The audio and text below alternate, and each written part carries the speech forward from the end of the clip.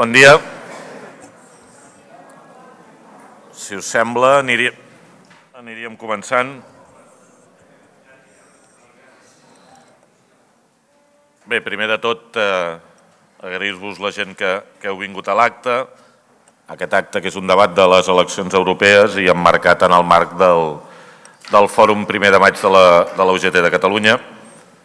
Agrair també a la candidata i als candidats a, a les eleccions europees que hàgiu acceptat la nostra, la nostra invitació i també a la Núria Oriols, periodista, també que hagi acceptat doncs, eh, poder, debatre, poder debatre i moderar, i moderar aquest acte. Aquest acte el, vam decidir de fer cap allà al gener-febrer. No hi havia eleccions eh, espanyoles entremig, si haguessin hagut també ho haguéssim decidit de fer-ho, però també era la, una voluntat des de la UGT de Catalunya doncs, de situar el marc on estem i que, i que més enllà de les realitats que, que tenim a Catalunya i a l'Estat, no? hi ha vida més enllà i que al final doncs, el nostre marc segurament primer de les polítiques i del model social d'estat de benestar i democràtic és Europa. No? I per això, per nosaltres, debatre d'Europa no és debatre d'una cosa llunanya, sinó que és d'una cosa propera. Nosaltres sabem el que ens pot afectar el TTIP, no? nosaltres sabem com ens vam tindre que mobilitzar quan es plantejava, no? ara que celebrem el, el centenari de la, de la jornada laboral de 3 hores, quan es plantejaven 60 hores o no sé quantes més. Per tant, nosaltres sabem que en la realitat del nostre mercat de treball, dels nostres centres de treball, de la nostra qualitat en l'ocupació, Europa decideix i moltes vegades no decideix en la línia que també nosaltres, nosaltres voldríem. Per això, poder debatre amb els, la majoria de partits que es presenten eh, a les eleccions, doncs jo crec que és important. Fins i tot avui ens podem trobar amb una cosa que és, aquí hi ha partits polítics que tenen posicions antagòniques en moltes coses i, i moltes transcendents, però segurament, no tinc cap mena de dubte, que cap dels partits que avui ens acompanya aquí està en contra d'Europa i per tant no vol trencar Europa ni la Unió Europea. Per tant, fins i tot eh, en el moment de crispació eh, política vivim també es poden trobar punts en comú. Per nosaltres, que hi hagi l'interrogant a la Unió Europea no és perquè vulguem debatre si Europa sí, Europa no, sinó l'interrogant és perquè nosaltres que hem viscut directament la crisi econòmica, que tenim una visió social d'Europa, doncs creiem que tenim molta menys Europa de la que voldríem.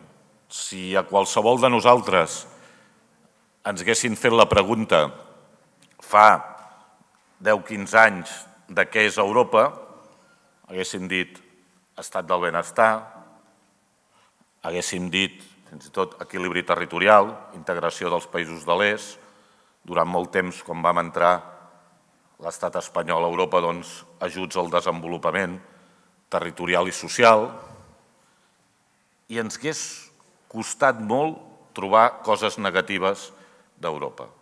Per desgràcia, si avui fem la pregunta d'Europa, doncs ens ve la paraula troika, ens ve la paraula retallades, ens ve com s'està tractant la immigració que mor a la Mediterrània i, per tant, hem de dir que part del model social europeu doncs, està en crisi, però la nostra manera d'afrontar la crisi és que volem més Europa.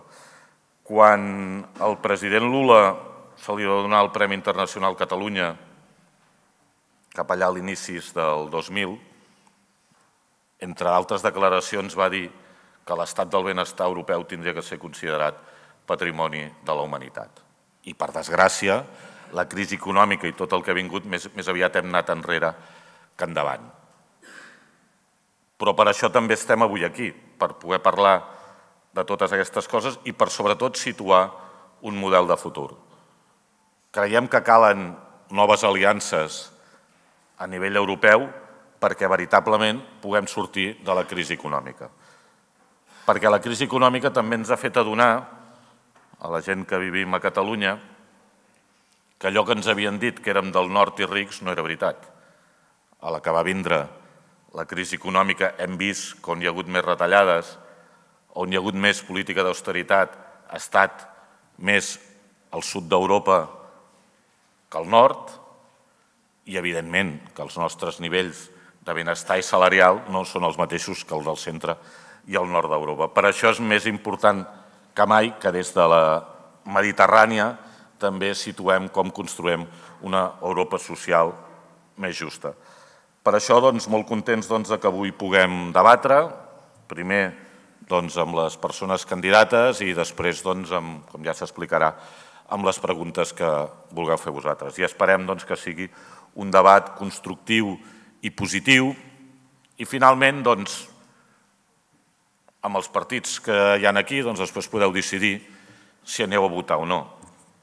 Ja sabeu que nosaltres no diem a qui s'ha de votar,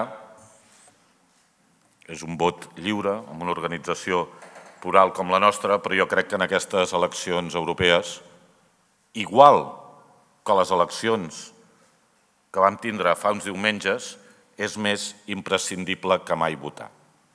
Hi ha gent que arreu d'Europa vol trencar Europa. I per això també cridem doncs, a la mobilització de la gent treballadora que vagi, que vagi a votar. I, evidentment, per nosaltres, tothom és lliure de fer el que vulgui, però diem que voteu el que vulgueu, però aquest cop també diem que no voteu ultradreta, com a mínim, per racista i per machista, que són les actituds que estan tenint i també de desconstrucció d'Europa. Però, evidentment, podeu fer lliurement, com diria el poeta, el que bonament us dongui la gana eh? i, per tant, podeu fer. Res més, moltes gràcies, benvingut i, i gràcies als candidats per acompanyar-los.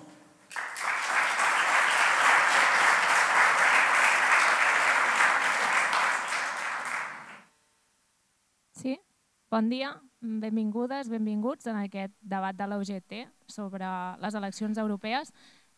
Quan parlem d'Europa podríem parlar de moltes coses. Els temes són infinits. Uh, aquestes eleccions són, són claus perquè, com ha dit el, el secretari general, el Camil Ros, es juga la integració uh, a la Unió Europea, més o menys integració, fins i tot la fi d'aquest projecte que hem conegut fins ara.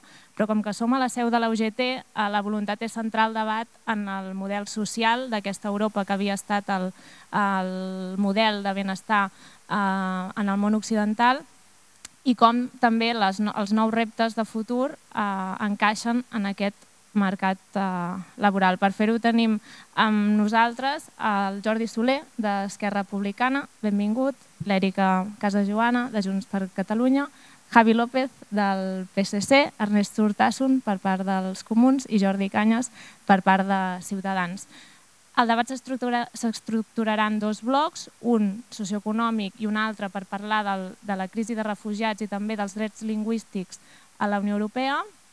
I la voluntat és que eh, llancem i plantegem preguntes, ens diguin el seu model en 30 segons, un minut, i després s'interpel·lin i discuteixin perquè vosaltres també pugueu distingir quins són els models de, polítics de cadascú. Comencem posant una mica de context. Tenim un mercat laboral cada vegada més polaritzat i amb, les, amb la introducció de les noves tecnologies que el que fa és crear nous oficis però també destruir-ne molts que havíem conegut fins ara. Llavors, eh, la pregunta que llanço primer al Jordi Soler és com es pot garantir des de la Unió Europea aquesta transició justa en què evitem més bosses de pobresa i que ningú es quedi enrere. Ara m'hauríeu de sentir? Sí, molt bé. Bon dia a tothom. Eh, en primer lloc, agrair a UGT que hagueu organitzat aquest debat i que ens dongueu l'oportunitat d'expressar-nos i explicar-nos i després també moltes gràcies a, tots vosaltres per assistir-hi. Tenim eh, Unió Econòmica i Monetària, eh, estem construint la Unió Bancària, la Unió Digital, la Unió Energètica, però què passa amb la Unió Social? No hi és, alguns l'esperem i d'altres ni tan sols l'esperen. Um, unió social per nosaltres vol dir que hem de posar l'Europa social, les polítiques socials, les polítiques de qualitat en el treball contra les desigualtats, contra les injustícies en el centre de les polítiques europees. I per tant nosaltres proposem passar del pacte d'estabilitat i creixement, que ha sigut el marc que ha justificat les polítiques d'austeritat que han tingut conseqüències catastròfiques sobre la cohesió social, passar d'això cap a un pacte per la prosperitat inclusiva i compartida, que entre altres coses vol dir que aquestes transicions que algunes són necessàries. La transició cap a la descarbonització, cap a un model econòmic sostenible i d'altres són inevitables, com la transició digital, no poden, tenir, eh, no poden deixar víctimes pel camí.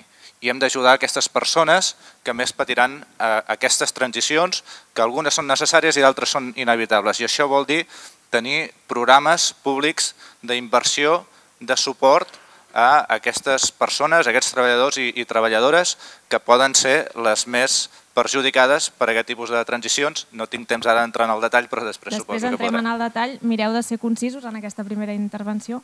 Si us plau, uh, Erika. Molt, molt agraïda a la UGT per haver-nos convidat. Estic particularment contenta d'estar amb aquesta seu tan espectacular que celebro que hàgiu recuperat del patrimoni d'abans de la Guerra Civil de, del patrimoni durant la República. A poc a poc anem, anem recuperant els nostres drets i els nostres patrimonis. El, com sabeu, la, la Unió Europea no té veritablement competències en política social.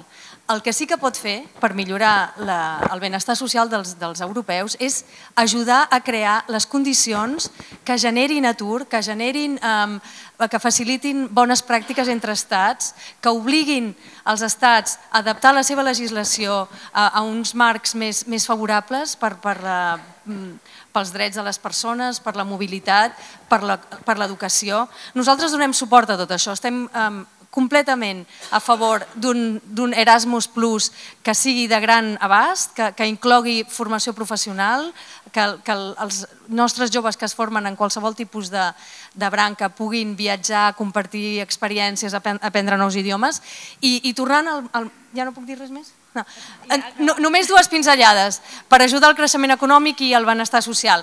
Completar el corredor mediterrani i acabar la morositat a Espanya, que fa tancar tantes petites i mitjanes empreses. Això no és responsabilitat d'Europa, és d'Espanya que incompleix el, la legislació europea que l'obliga a acabar la morositat. Javi. Bueno, telegràficament, primer, moltes gràcies.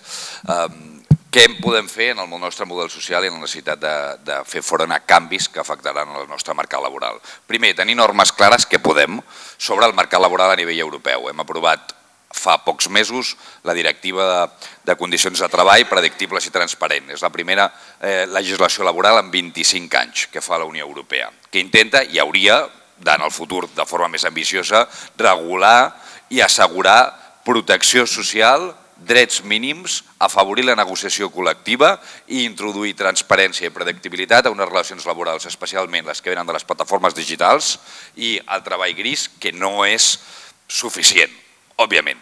No? Generar un mercat laboral que tingui drets mínims a nivell europeu. I en segon lloc, sabem que la nostra economia i les nostres tecnologies i també derivat de la globalització hi ha molts sectors que queden desprotegits, molts treballadors que poden perdre el seu lloc de treball i el que cal és una estratègia clara de compensació cap a aquests sectors amb dues idees. Unes, inversions productives que afavoreixin on es generaran els nous llocs de treball i dos, formació. Formació necessària perquè aquestes transicions dels treballadors actuals puguin entrar en aquests nous nichos com l'economia verda, l'economia del benestar, eh, l'economia que té a veure amb la cura, que serà gegantina, amb un continent que fa una transició demogràfica molt rellevant. Gràcies. Um, Ernest.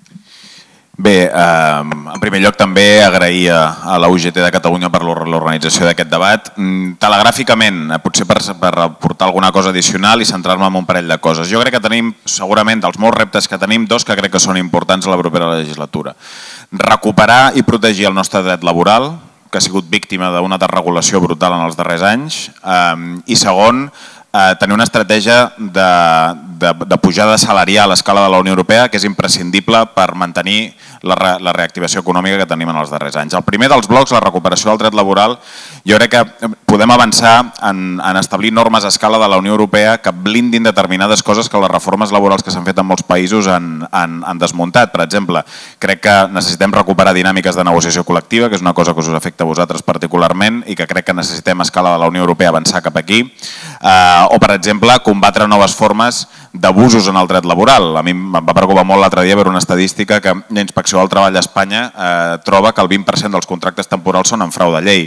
Això són coses que, que en, en el marc de la Unió Europea no ens podem permetre i per tant necessitem anar avançar cap a normes que blindin el dret laboral del desmuntatge que s'ha fet en els darrers anys i que també afrontin nous fenòmens. Evidentment, hi ha un principi fonamental en el dret europeu que és el principi del tracte igualitari, això està en els tractats i està en el pilar, social, en el pilar europeu de drets socials, per tant no pot ser i acabo, que perquè hi hagin noves formes de contractació es discrimini particularment un treballador i no tingui els mateixos drets que la resta. No? I per tant, aquesta ha de ser una cosa important. Sobre salaris després em referiré a alguna cosa més concreta. Gràcies. Jordi. Sí, hola. Primero, gracias eh, telegráficamente, gracias a UGT por organizar este debate.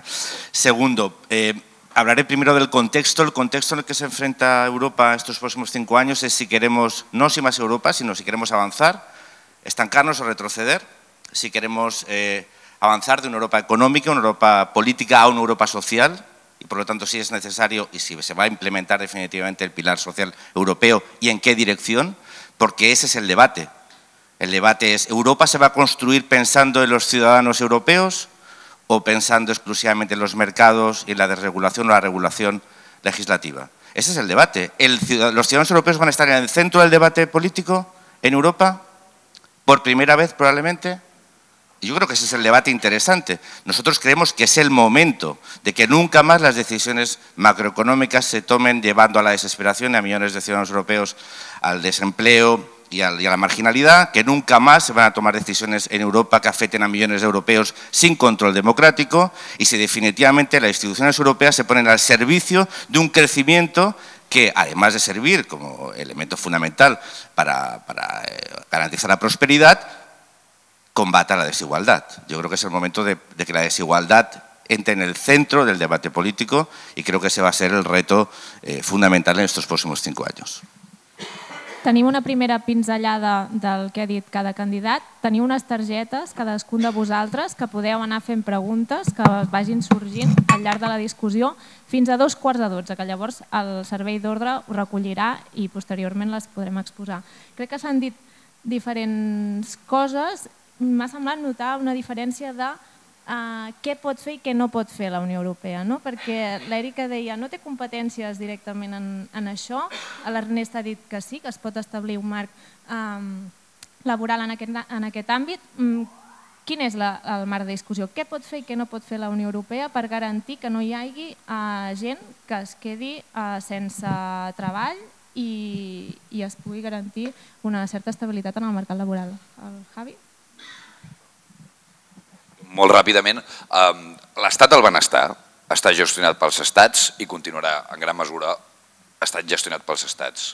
Però a la vegada la Unió Europea pot fer diverses coses. Una, a nivell de mercat laboral, les condicions de treball sí que són competència, poden ser competència de la Unió Europea. De fet, ja hem regulat durant aquests mm, anys, hem aprovat una directiva de condicions de treball, que a més era la renovació d'una directiva de fa 25 anys que regulava eh, els contractes per escrit eh, Great Statement Directive, no? les contractes per escrit, que era la directiva que parlava de les condicions per fer un, una relació laboral. O sigui, es pot fer en condicions de treball i tenim competència.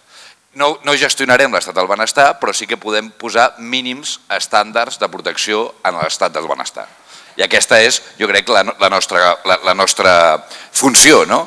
com posem normes des de salari mínim, que es podria fer, rendes mínimes, una caixa per una, una prestació d'atur a nivell europea, tot això es podria fer, aquestes idees estan sobre la taula, calen majories i vots suficients per fer-los possibles.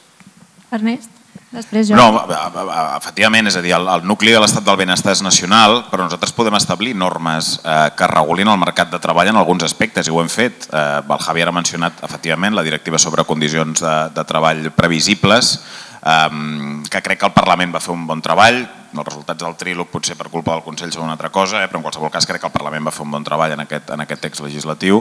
També, per exemple, una cosa important, hem aprovat en aquest mandat també una directiva sobre conciliació laboral i familiar, que és una directiva important que també, per exemple, molt escassa, molt limitada, però ha introduït un permís de, de, de, de baixa per paternitat obligatòria a tota la Unió Europea i hi havia com a mínim 10 estats de la Unió Europea que no tenien cap permís de, de paternitat introduït. I això obligarà els països de la Unió Europea a introduir-lo. No? I després hi ha dues coses que voldria mencionar molt breument que podem fer. Una cosa important en aquest mandat, hem creat l'Autoritat Laboral Europea per primera vegada. Pot ser un instrument potentíssim l'Autoritat Laboral Europea si es converteix en una espècie de petita OIT a escala de la Unió Europea que pugui fer recomanacions de política econòmica, de política laboral, eh, noves recomanacions de protecció de, de noves formes de precarietat. L'Autoritat Laboral Europea pot jugar un paper important. I finalment tenim un altre instrument important que es diu semestre europeu de coordinació de les polítiques econòmiques a escala de la Unió Europea, que en els darrers anys ha tingut molt poca ànima social, el semestre europeu, molt poca, ha anat més centrada en fer i en impulsar reformes devaluatives que en protegir el dret laboral, però el sistema de coordinació del semestre europeu, si, tinc, si té clau social, pot ser també un instrument molt important de coordinació de les polítiques laborals i socials.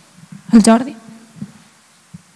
Sí, yo creo que eh, la Unión Europea tiene, tiene dos, dos, mecanismos. Uno directísimo, que era el político, es decir, las decisiones que se adoptaron para, para, durante la gran recesión fueron decisiones políticas que afectaron directamente al empleo, en este caso el desempleo.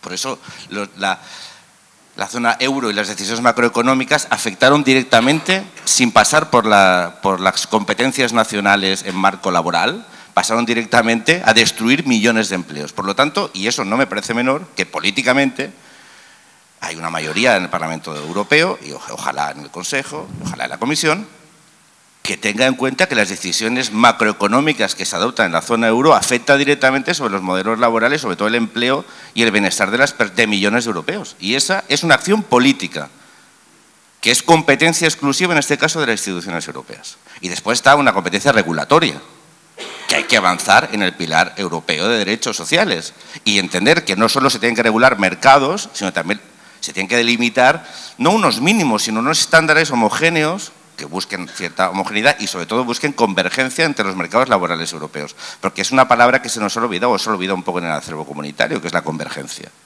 Europa tiene que converger en derechos, tiene que converger en, en estándares económicos, en estándares laborales, no solo en marco regulatorio de interacción en el mercado, que es imprescindible, no, no es una cosa la otra, pero es que una cosa tiene que ir con la otra, porque si queremos desarrollar una identidad europea, si queremos desarrollar una verdadera ascripción sobre, sobre una Unión Europea y recoser las distancias creadas en amplísimas capas de la sociedad europea respecto a sus instituciones, estas tienen que dar respuesta a los problemas reales, evidentemente de la mano de los Estados, pero intentando avanzar e impulsar y mover a unos estados que, algunos de ellos, no tienen la voluntad de avanzar en lo que tienen que ser estándares mínimos de, de derechos laborales. Bé, jo crec que estem davant d'una doble paradoxa. Eh, la primera és sobre prioritats polítiques i la segona és sobre arquitectura institucional, funcionament real de, de la Unió Europea. La primera paradoxa és que efectivament a nivell de polítiques socials competencialment el marge d'actuació de la Unió Europea és limitat, tot i que en el Tractat de Roma de l'any 1957 ja hi sortien esmentades les, la necessitat de tenir unes polítiques socials, eh, almenys la coordinació a nivell europeu, però també és veritat que a nivell de política econòmica i monetària, on sí que hi ha molt poder de decisió a la Unió Europea, es prenen unes decisions que després incideixen en el marge d'actuació en els estats, en els estats del benestar i en les polítiques socials. Per tant, aquesta, aquesta és una paradoxa. I com es canvia això? Canviant les prioritats polítiques. És a dir, està molt bé que tinguem capacitat de decidir en les polítiques econòmiques i monetàries, que això alhora marca el terreny de joc per les altres polítiques, però també donem prioritat a les polítiques laborals, a les polítiques socials. Hi ha un problema de prioritats polítiques i després hi ha un problema de, de funcionament de les institucions europees. Tots els exemples que, que heu mencionat aquí, la directiva de conciliació eh, treball, eh, vida personal, la directiva de condicions laborals predictibles i, i transparents, el, el semestre europeu, etc. Si la posició que, que prevalgués fos la posició del Parlament Europeu, jo estaria satisfet del que fa la Unió Europea. Però el problema és que després el que diem al Parlament Europeu se'n va al, al Consell de la Unió Europea on hi ha els governs dels estats i allà passen dues coses normalment. O ho aturen, ho posen dintre d'un calaix o al congelador, com ha passat, per exemple, suposo que després en parlarem amb la reforma del sistema d'asil, el sistema de Dublín, o amb la directiva contra la discriminació, etc. o ho aigualeixen tot. Sempre passa una d'aquestes dues opcions i llavors el resultat és frustrant des del punt de vista de qui creu que els que representem la ciutadania hauríem de tenir una capacitat d'incidència en els resultats finals de la legislació europea. I això no passa. Per tant, hem de canviar prioritats polítiques i hem de canviar també el funcionament institucional de la Unió Europea. Tot això que dic, sobretot la segona cosa, canviar el funcionament institucional de la Unió Europea, no està sobre cap taula. Potser només sobre, diguem, en el cap d'alguns que estem aquí, perquè en aquest moment ningú té ni la voluntat ni, ni, la, ni la capacitat de plantejar una reforma profunda de la Unió Europea. Però malgrat tot jo, jo la reivindico. Si no canviem aquesta Unió Europea, podrem fer grans debats sobre política social, sobre política laboral, però ens quedarem en debats. I per tant hem d'anar més enllà. Jo reivindico la Unió Europea, però reivindico una altra Unió Europea, molt, difer molt diferent a la que tenim. Uh, jo estic, estic d'acord amb el que han dit els, els meus companys candidats. Uh, voldria incidir, però, en on la Unió Europea pot crear les condicions perquè es creïn els llocs de treball. Això passa per protegir les petites i mitjanes empreses, que són el, el que genera més llocs de treball a Catalunya, a l'estat espanyol i a Europa. Abans us he parlat de la, de la morositat. La morositat és dramàtica. El, el mateix president del Banc Central Europeu va criticar Espanya per no haver aplicat la legislació europea sobre morositat Um, fa, abans que es dissolgués el Parlament s'hauria d'haver aplicat el reglament espanyol de sancions a les empreses moroses i al govern, el, govern, el govern quan sigui morós. I no es, va aplic, no es va aprovar aquest reglament. Si no hi ha sancions, hi continuaran els incompliments. Estem incomplint la legislació europea que protegeix els treballadors. Espanya és l'estat més incomplidor de la legislació europea. Té 97 expedients oberts. No és veritat, doncs digue'm les xifres, Jordi. El, no, no, no m'interrompi, si us plau. El corredor mediterrani. El corredor mediterrani és l'aposta verda, és l'aposta de creixement per tot el llevant de la península, que és la, la zona més dinàmica de l'economia espanyola. El govern del PP incomplia les seves obligacions europees de fer la seva part. Des del 2011, i vull, tot i que la, la meva candidatura Junts per Catalunya, eh, amb, la, amb la vocació de ser la candidatura unitària de l'independentisme, és molt plural, però vull reivindicar l'herència del, del eurodiputat de Convergència i Unió, Ramon Tremosa, que ha treballat molt dur perquè el corredor mediterrani fos una prioritat europea i contràriament, eh, o sigui, el, el, el corredor central que defensen alguns dels meus col·legues d'aquí eh, i que va impulsar l'Aznar, i Espanya incompleix, incomplia el PP i incompleix el PSOE, no s'executen les obres. Tenim, tenim el, les grans infraestructures que han de generar treball parades. Jordi, Ernest. Sí, Todo España es fatal. En cambio, las, administraciones morosas como la Generalitat, que no pagan los ayuntamientos, que a su vez no pueden pagar a los, proveedores, eso te olvidas, eso te olvidas. ¿eh? Pero bueno, no pasa nada, no pasa nada, no pasa nada. No, no pasa nada. Mira, ayer estuve eh, este miércoles en la presentación de nuestra candidatura en San Andreu de la Barca. San Andreu de la Barca, ¿eh? no estamos hablando de Barcelona, que eso ya es el Bancaixa. ¿eh? de la Generalitat, 3 millones de euros de deuda. Incumplimiento de todos los convenios, acuerdos con los ayuntamientos de prestación de servicios. Mira, yo de verdad, yo que voy a intentar sobrevolar sobre el, sobre el rollo. Este, España es muy mala y nosotros somos estupendos. Yo, yo, que, yo sí, no, mira, sí, mira. Pero, bueno, es igual. A ver, vamos a ir un poco al grano, porque si no. Eh, yo, sinceramente, lo que comentaba antes, eh, podemos quedarnos la Unión Europea tiene una capacidad, tiene capacidad evidentemente de definir unos marcos regulatorios, pero es como la pirámide famosa de Maslow, ¿no? es decir, primero hay que comer. Entonces, creo que es muy importante, que es cierto que hay unos déficits democráticos institucionales que impiden pues, que el Parlamento haga su, función de control, de supervisión, en, zonas o en espacios donde las decisiones afectan directamente a miles de ciudadanos. Bueno, pero que el Consejo tiene unas mayorías políticas. Cuando hablamos de Europa es como cuando algunos hablan de España, ¿no? que España es muy mala. No, es como Europa no es muy mala. Las decisiones que se tomaron en materia macroeconómica en la gran recesión las tomó un Consejo que tiene unas mayorías políticas determinadas. No las tomó Europa, como pobrecita Europa. No, Europa no tomó nada, la tomó el Consejo, o lo tomó la Troika, o lo tomó... Bueno, pues habrá que señalar qué hizo la Troika, si podemos mantener, si, si quien tomó las decisiones de eh, políticas de austeridad en vez de políticas de, impulso económico, quién fue, eh, qué ideología tenía, qué proyecto tenía para Europa, porque es que si no caeremos en el error de culpabilizar a lo que creo que para todos es un objetivo imprescindible para los trabajadores, para las empresas, para las sociedades, para nuestro futuro, que es tener una Unión Europea fuerte. Fuerte tiene que significar también justa. No es incompatible un crecimiento económico con una prosperidad y con una justicia social, porque si no, el modelo europeo no es...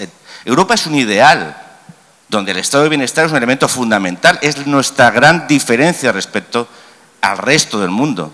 Cuando nos comparamos macroeconómicamente con Estados Unidos o con otras grandes potencias, hay una diferencia sustancial, que es nuestra, nuestra, nuestro, no gastos, nuestra inversión social, en sanidad, en desempleo.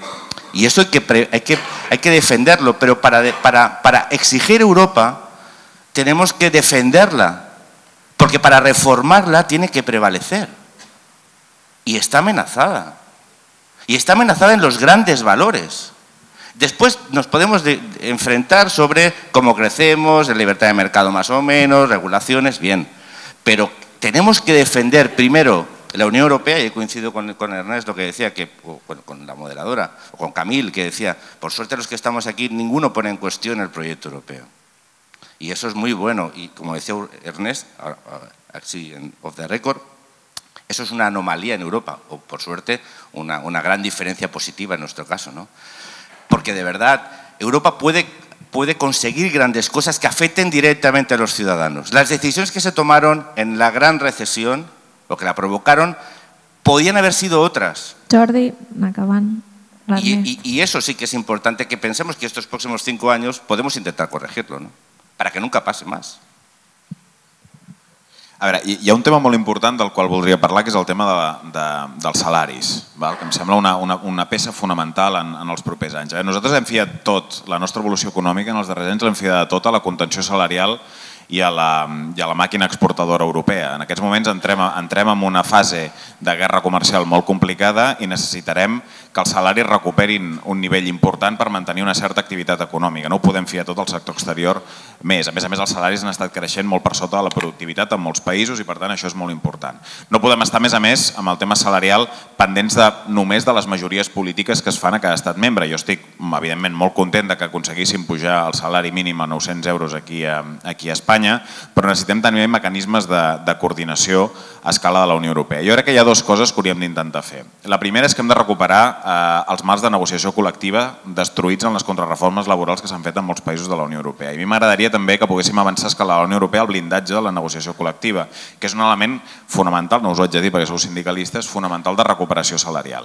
I la segona cosa que crec que hauríem d'intentar fer és intentar establir algun tipus d'índex a escala de la Unió Europea d'evolució salarial que fos compartit, eh? que, que, que ens permetés també anar, anar tendint a una evolució dels salaris a escala de tota la Unió Europea. I la tercera cosa, i amb això acabo, el famós eh, salari mínim a escala de la Unió Europea, que jo crec que, que seria un, un element molt important també. Hi ha, hi ha papers escrits sobre això, la CES té papers escrits sobre això, la comissió ha fet estudis sobre la qüestió i crec que això seria, seria molt important. No podem seguir, tornar a entrar en un període per culpa del desmuntatge del dret laboral i per les dinàmiques que hem tingut de salaris tan baixos com hem tingut en els darrers anys en, el, en tota aquesta etapa d'austeritat. Sí, abans un, un apunt sobre la morositat per ser, per ser justos amb, amb la realitat també. Eh? Uh, jo he sigut alcalde durant els 12 últims anys, de fet encara ho soc, em queden dues setmanes, i si la Generalitat s'ha posat les piles i s'ha posat al dia amb els ajuntaments ha sigut aquests dos, dos o tres últims anys i això, a, això ha sigut així. Això, això ha, no, abans, bastant abans de la usurpació que, que vareu fer de les nostres institucions. Bé, deixem això a banda. Eh, què ha passat durant la, durant la gran crisi econòmica? Bé, una de les coses que ha passat és que les millores de productivitat s'han aconseguit a base de baixar, de baixar sous.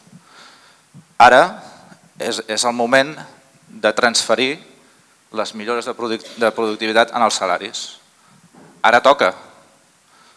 Ara toca i no estem, no estem en recessió. Mm, el panorama tampoc és que sigui a nivell de, de, de futur, no? tampoc és que sigui eh, molt eh, positiu, però tot aquest, tot aquest ajust que hi ha hagut durant els 7 o 8 anys de la recessió econòmica que s'ha fet a costa del, dels treballadors, dels sous dels treballadors, amb el resultat de la precarietat laboral, de la polarització, ara toca, per ser justos, canviar aquesta dinàmica i revertir les millores de productivitat que són importants en els salaris. I després també, jo també estic a favor d'establir criteris comuns a nivell europeu en relació amb, dues coses, amb el salari mínim, salaris dignes, que no en tenim, i en molts països de la Unió Europea no, no en tenim de salaris dignes, i rendes mínimes, criteris per establir un sistema de rendes mínimes, de rendes garantides a tota la Unió Europea.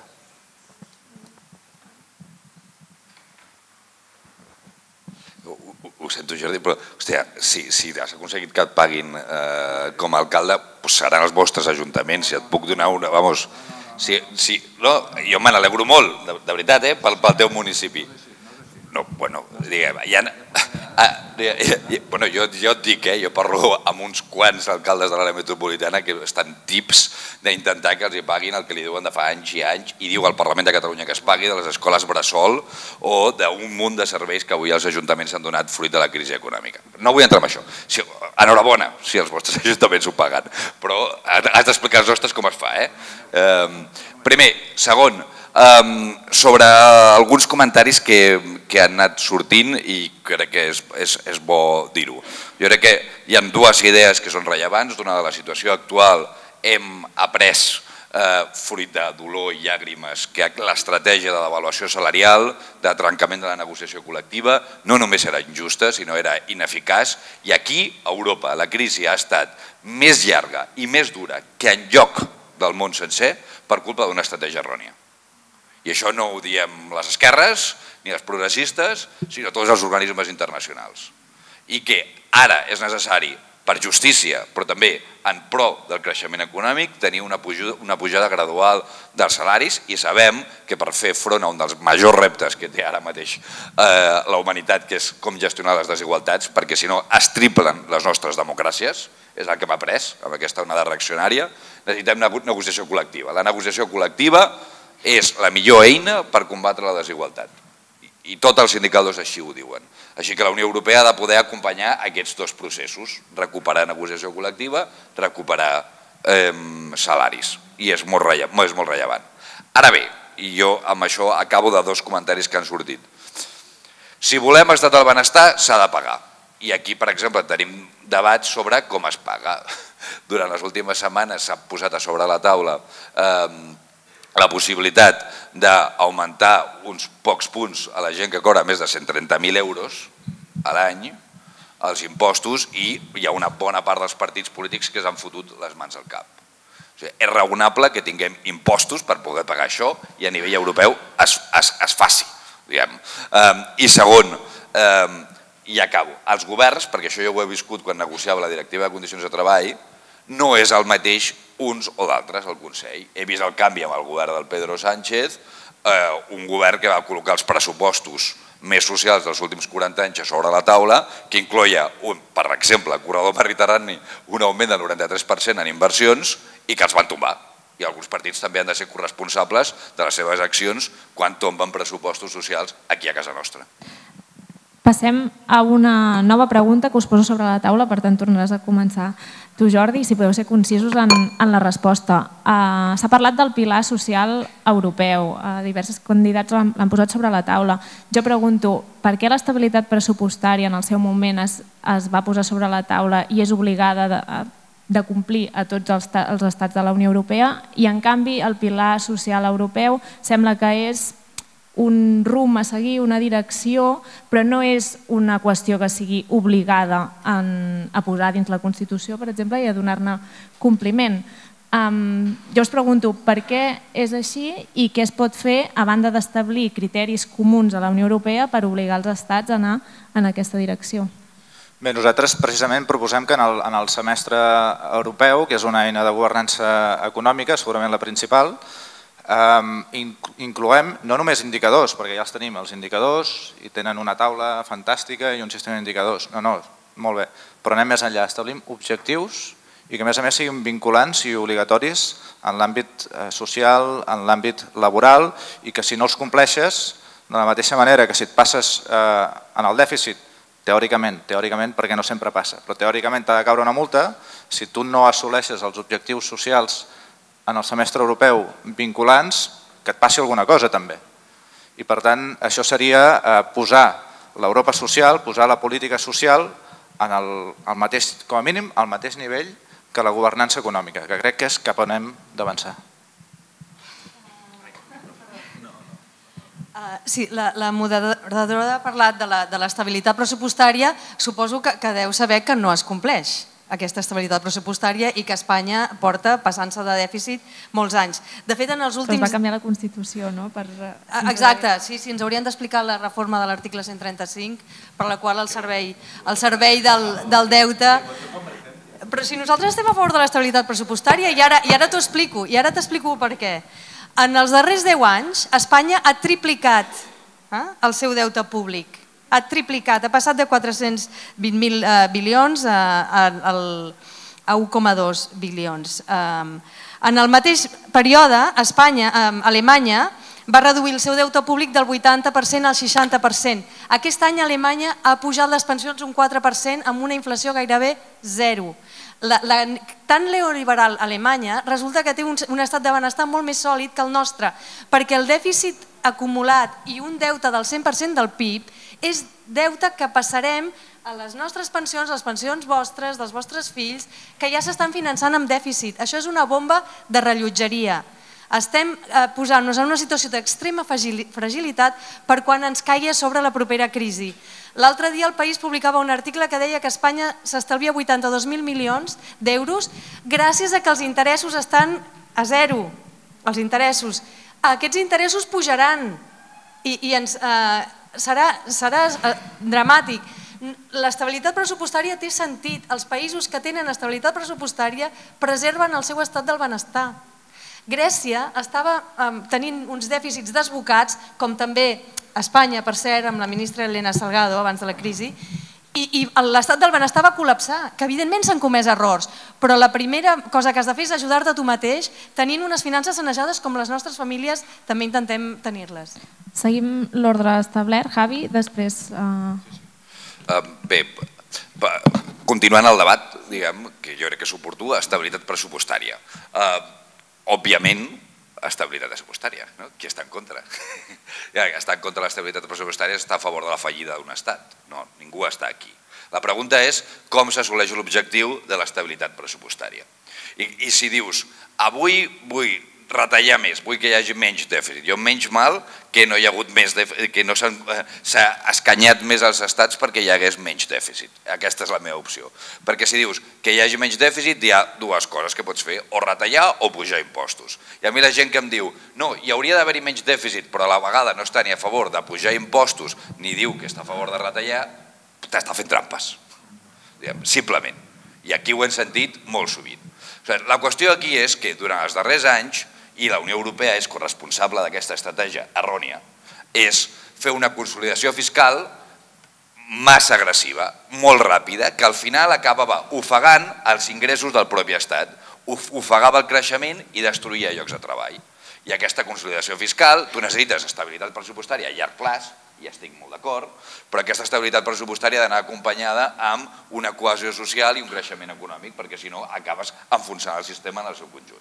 I això és el que nosaltres ah, defensem. I ara el que cal és que fugir de la tirania del dèficit i del decimal que ha estat, que ha estat la lògica macroeconòmica de la Unió Europea i introduir tot el pilar social a la nostra coordinació de política de reformes i de pressupostos a la Unió Europea que dona sentit a l'ànima d'Europa. Ernest i... Jo, jo crec que els, els, els nostres governants en els darrers 10 anys es van oblidar els seus manuals de macro. A veure, els, els, eh, els comptes públics es quadren amb el cicle s'han de quadrar amb el cicle. Tu no pots fer política procíclica.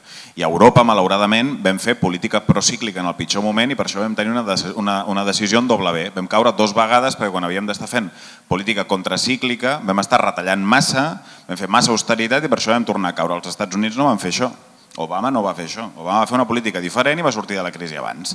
I haig de dir que quan tu fas massa austeritat i per tant fas polítiques procícliques, augmentes el deute no el redueixes. A vegades quadrar els comptes quan no toca fa augmentar més el deute perquè mates la, el, el progrés econòmic. I això és el que hem fet malament en els darrers anys. I haig de dir que ho han fet malament tots els grans partits de la Unió Europea, perquè també haig de recordar que aquí va haver-hi algú que en aplicació del pacte fiscal va reformar la Constitució a l'article 135 en aplicació d'aquesta austeritat absolutament suïcida. Val?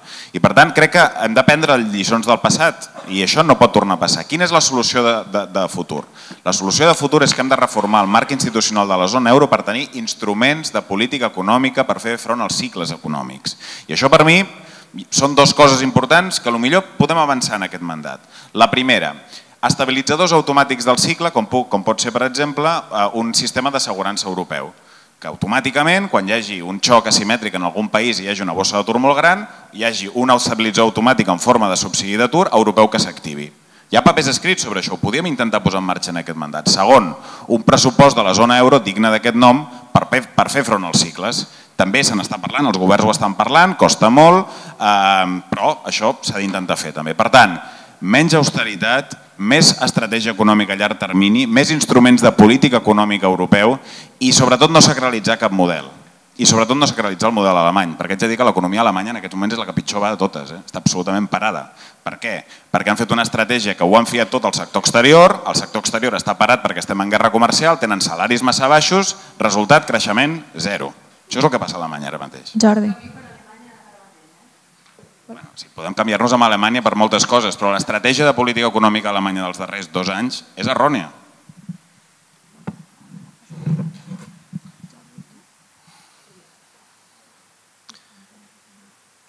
No se puede tener una política monetaria común sin instrumentos de mutualización de deudas, instrumentos que intenten eh, homogeneizar lo heterogéneo. Es decir, las decisiones macroeconómicas adoptadas en la zona euro no tenían en cuenta la heterogeneidad del conjunto de países. Acordaos, nos llamaban los pigs, ¿eh? los cerdos, en un acrónimo nada, nada digamos, muy poco, poco sutil. ¿eh?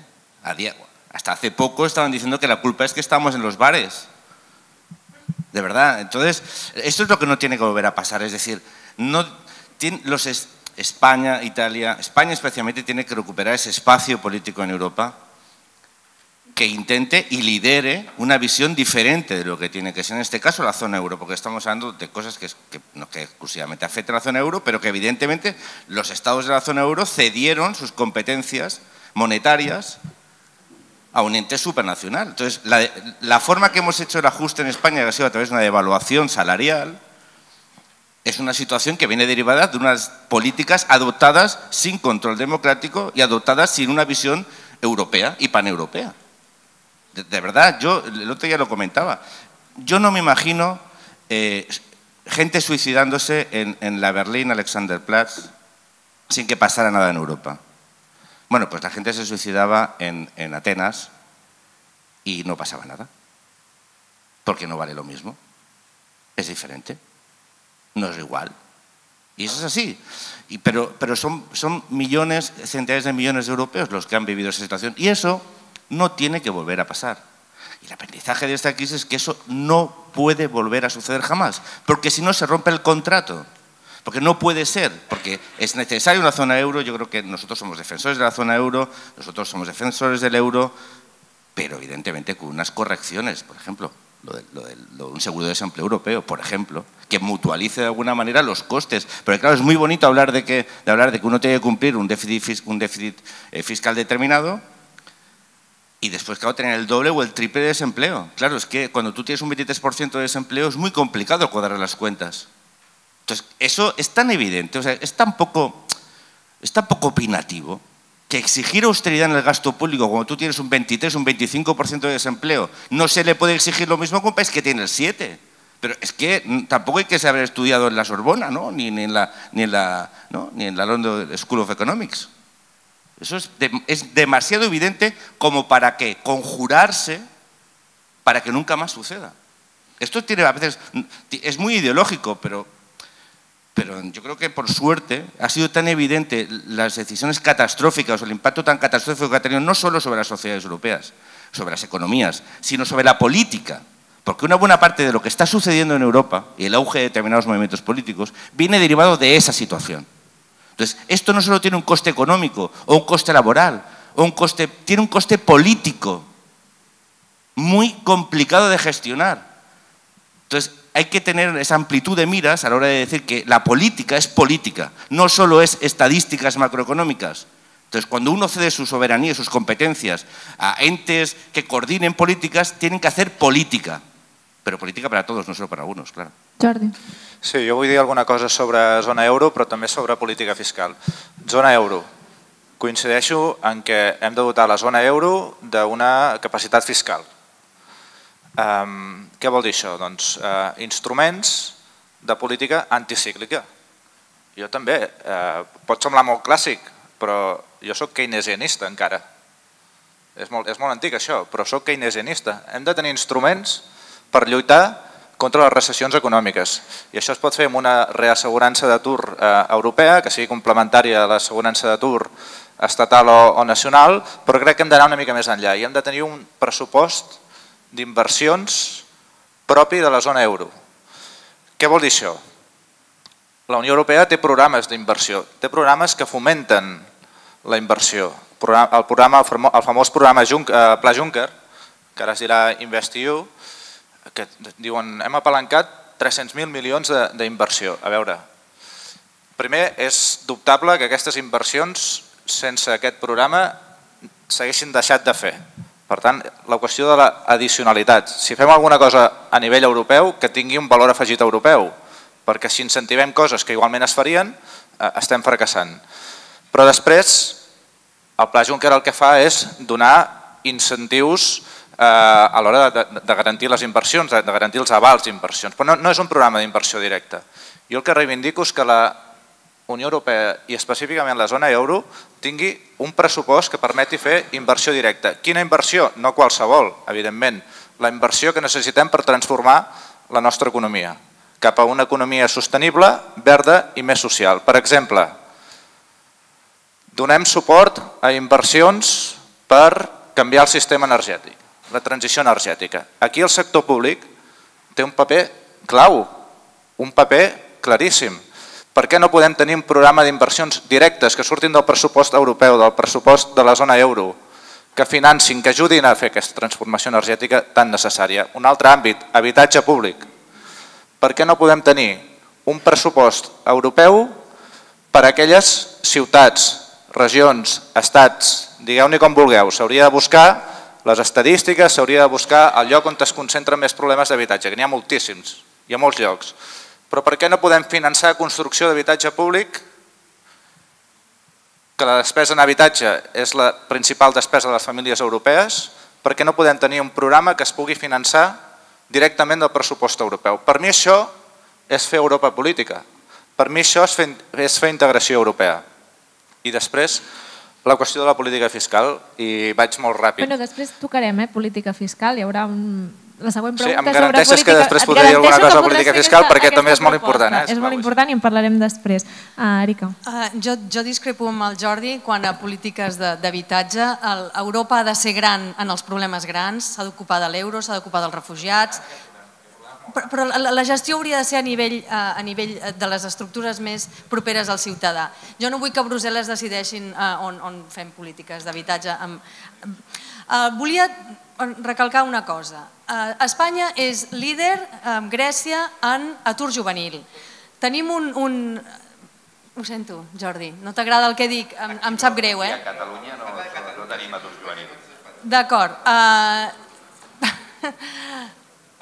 puc, continuar? Puc continuar? Gràcies. El, Espanya és líder en atur juvenil, tenim una, una, una, atur, un atur estructural massa alt durant massa temps. Això no ens ho solucionarà Europa. Nosaltres ens hem d'ajudar nosaltres mateixos.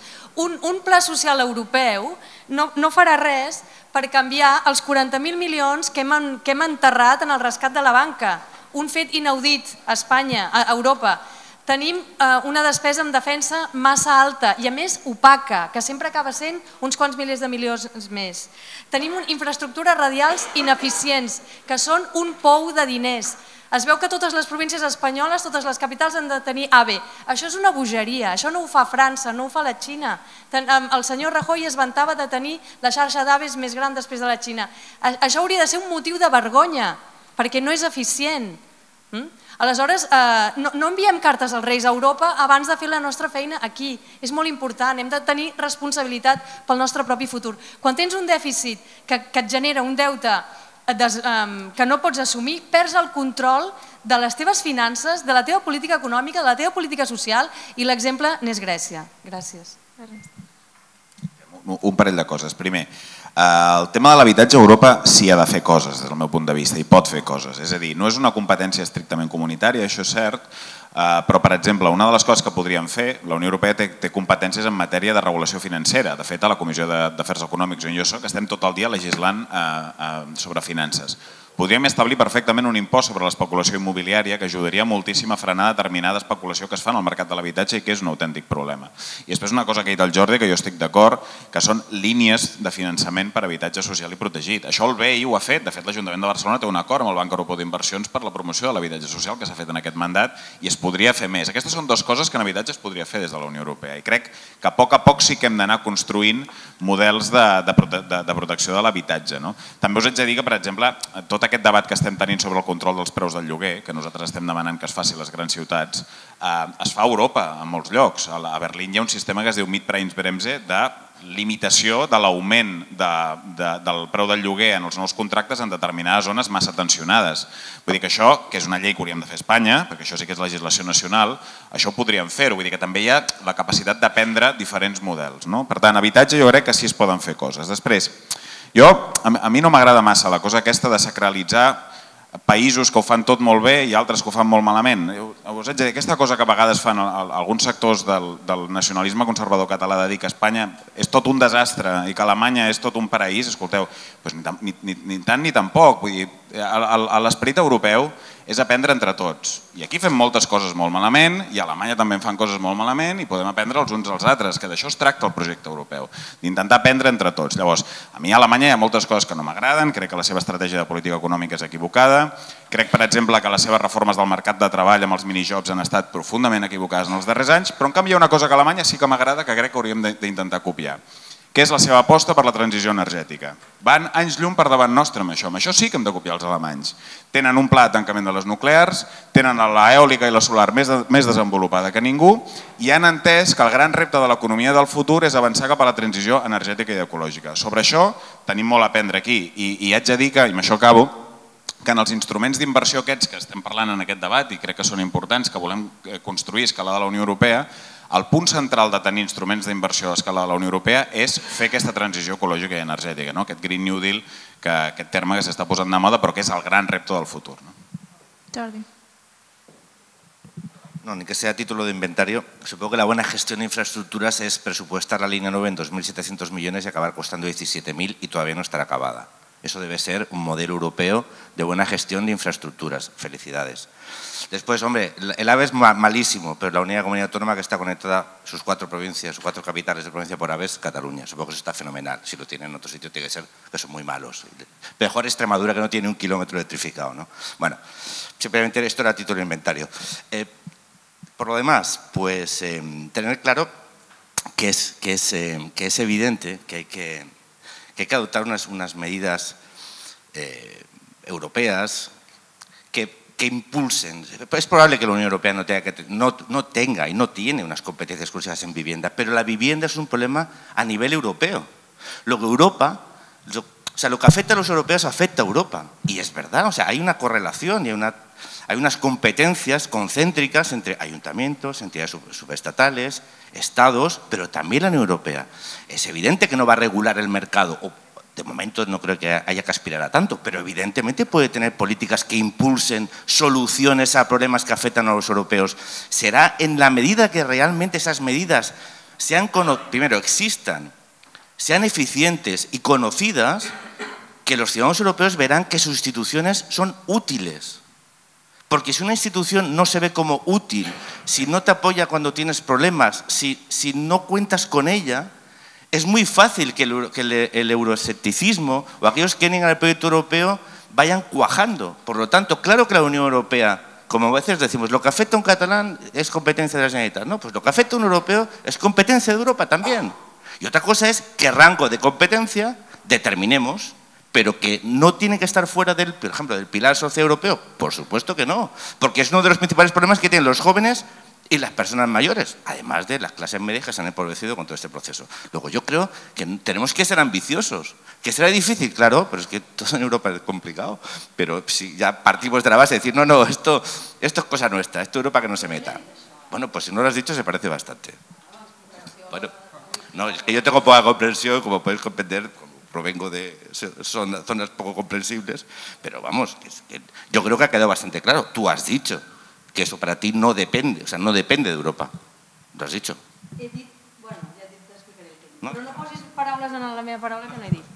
O sigui, jo no he dit, ai, no, pilar social no, que, que nosaltres ens ho fem sols. Jo no he dit això. Jo he dit que en, en, molt, en moltes coses del, de l'estat del benestar, Europa crea els marcs i es comparteixen bones pràctiques, però jo no vull que gestionin des de Brussel·les la meva política d'habitatge. És tot el que he dit. O sigui que no, no, no diguis que m'ho faig jo sola i perquè no ho he dit. No ho he dit. Javi.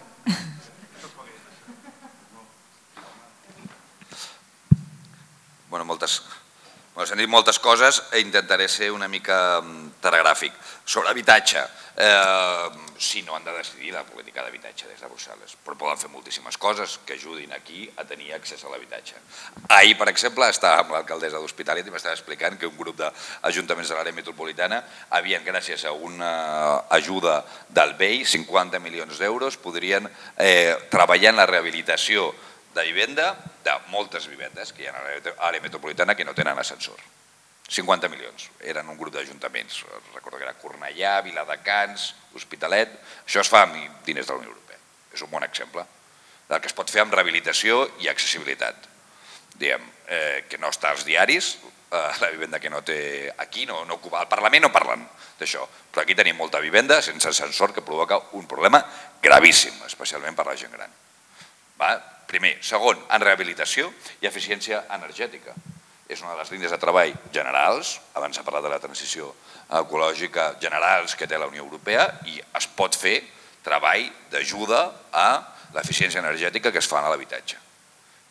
I es pot fer amb instruments financers, es pot fer amb el Banc Europeu d'Inversions i es pot fer amb programes. Després haurem de gestionar-ho nosaltres i tenen administracions que vulguin fer això. Abans s'ha citat com un dels temes de tenim un problema però no sé si la Unió Europea pot fer alguna cosa. L'atur juvenil L'atur juvenil, els sindicats coneixeu bé això. Hòstia, hi havia un problema molt gros amb l'atur juvenil a Europa, es va iniciar un programa, es va discutir molt, es van fotre 6.000 milions d'euros a sobre la taula, la garantia juvenil, aquí a Espanya, i a Catalunya inclosa, eh, perquè, diguem, perquè si no, si la discussió és Espanya no ho fa bé i nosaltres ho fem bé, que aquí s'acaba qualsevol discussió, perquè aleshores no es pot discutir. Eh, 1.600 milions d'euros de la garantia juvenil i aquí ho hem gestionat molt malament. I quan dic aquí, ho dic aquí arreu, a Barcelona i a Madrid, que hem decidit gastar bona part dels diners que hi havien en bonificacions fiscals i hem estat incapaços de gestionar i gastar bona part de l'ajuda que rebien. Ho dic perquè a vegades diu, home, eh, l'Europa no ho solucionarà, ho hem de fer nosaltres. Doncs mireu, nosaltres és que no som capaços ni d'aprovar un pressupost eh, en aquest país. Què cony hem de solucionar nosaltres? Um, Jordi, molt ràpid i introduïm la pregunta de... Sí, molt ràpid.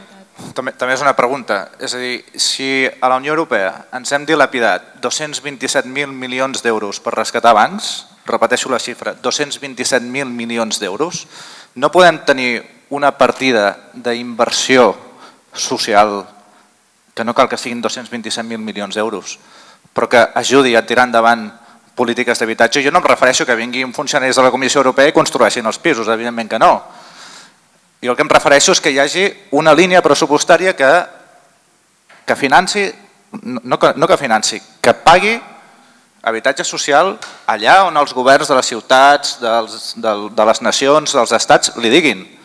Si ens hem gastat aquesta borrada de diners que els hem llançat per rescatar bancs, no podem tenir un programa europeu d'inversió pública? Jo penso que sí. Aquest és el meu model d'Europa, almenys. Us plantejo una pregunta molt concreta sobre fiscalitat i com que anem molt justos de temps, sigueu concisos i si voleu us interpel·leu directament i després canviem, canviem el, el bloc. Uh, hi ha d'haver impostos a nivell de la Unió Europea, iguals per tots els països que siguin promoguts des de la mateixa comissió, aquesta una pregunta. I l'altra és si tots els països han de tenir una certa harmonització fiscal en el que és impost de societats, IRPF. Mm, aquestes dues preguntes, si me les podeu... Però tu mateix... Molt ràpidament, molt ràpidament. Per, per, perquè la resposta és sí i sí, hi ha dues coses que es poden fer, és un, tenir recursos propis, és a dir, abans impostos europeus per poder tenir més polítiques europees. S'ha parlat de l'impost a les grans tecnològiques o l'impost sobre les transaccions financeres, com dos exemples de recursos propis, i dos, es pot tenir homologació, especialment sobre societats, a nivell europeu per combatre que hi hagi països que et facin competència deslleial. I posaré noms i cognoms. Irlanda, Luxemburg, Holanda, fa competència deslleial i això acaba destruint o debilitant l'estat del benestar. Per cert, i acabo, el comissari socialista d'Economia, Moscovici, ha posat a sobre la taula totes aquestes propostes i malauradament estan parades perquè es necessita unanimitat al Consell per aprovar-les. Ernest si em permets la maldat, haguéssim preferit Moscovici a Timmermans de candidat socialista a la presidència de la Comissió Europea. ja t'ho he dit moltes vegades. Eh, a veure, en fiscalitat hem avançat bastant, haig de dir, en aquest mandat. És una de les coses en les quals hem treballat bé. Hem, encara no hem, no, no hem completat gaire reformes, però hem avançat bastant. Uh, I al Parlament Europeu hem treballat molt bé, hem tingut comissions especials de fiscalitat durant pràcticament tot el mandat. Llavors, què hem aconseguit? Bueno, hem aprovat ja una directiva d'harmonització de les bases imponibles de l'impost de societats, que és molt important eh, perquè no ens fem dumping amb bonificacions i deduccions a la base eh, del càlcul de l'impost de, de societats, com passa aquí. Val? Per tant, aquesta la tenim. Hem aprovat també una, direct, una directiva sobre transparència fiscal de les multinacionals, ja votada en el Parlament i que està parada en el Consell. Tenim per primera vegada una llista negra europea de paraïsos fiscals insuficient, perquè els criteris són molt laxes, perquè no tenim sancions fortes, però hem fet una primera passa. I això són coses que podem anar fent, anar harmonitzant el nostre sistema impositiu perquè, com deia el Javi, no ens fem dumping, totalment d'acord. I això ha de ser un repte per seguir avançant en el proper mandat. I després, impostos pròpiament europeus també n'hem de fer. Hem estat a punt d'aconseguir-ne un, que era la famosa, eh, el famós impost sobre les transaccions financeres, que com no el podíem fer 27 perquè no ens posàvem d'acord, el vam començar a construir amb el que es diu en cooperació reforçada, que era alguns països però, helas, Luis de Guindo se'l va carregar. Sap greu dir-ho així, però a l'excloure els, els, els derivats de la base imponible de la FTT pràcticament va rebentar l'impost i ara mateix és un projecte que està en via morta. Però hem de recuperar aquest projecte, hem de fer un, un, un impost, com s'ha parlat, sobre les digitals, hem de fer un impost també sobre les grans fortunes europeu que es pot fer, vull dir, tot això és important. Requereix d'una cosa també, i amb això acabo, que és acabar amb la unanimitat eh, que requereix els temes fiscals en el Consell, que és un fre per totes les decisions. I això es pot fer. L'article 116 del Tractat de Funcionament de la Unió permet passar d'unanimitat a majoria qualificada eh, si en un determinat tema es considera oportú. I creiem que un dels reptes del proper mandat és acabar amb la, amb la unanimitat en matèria fiscal en el Consell.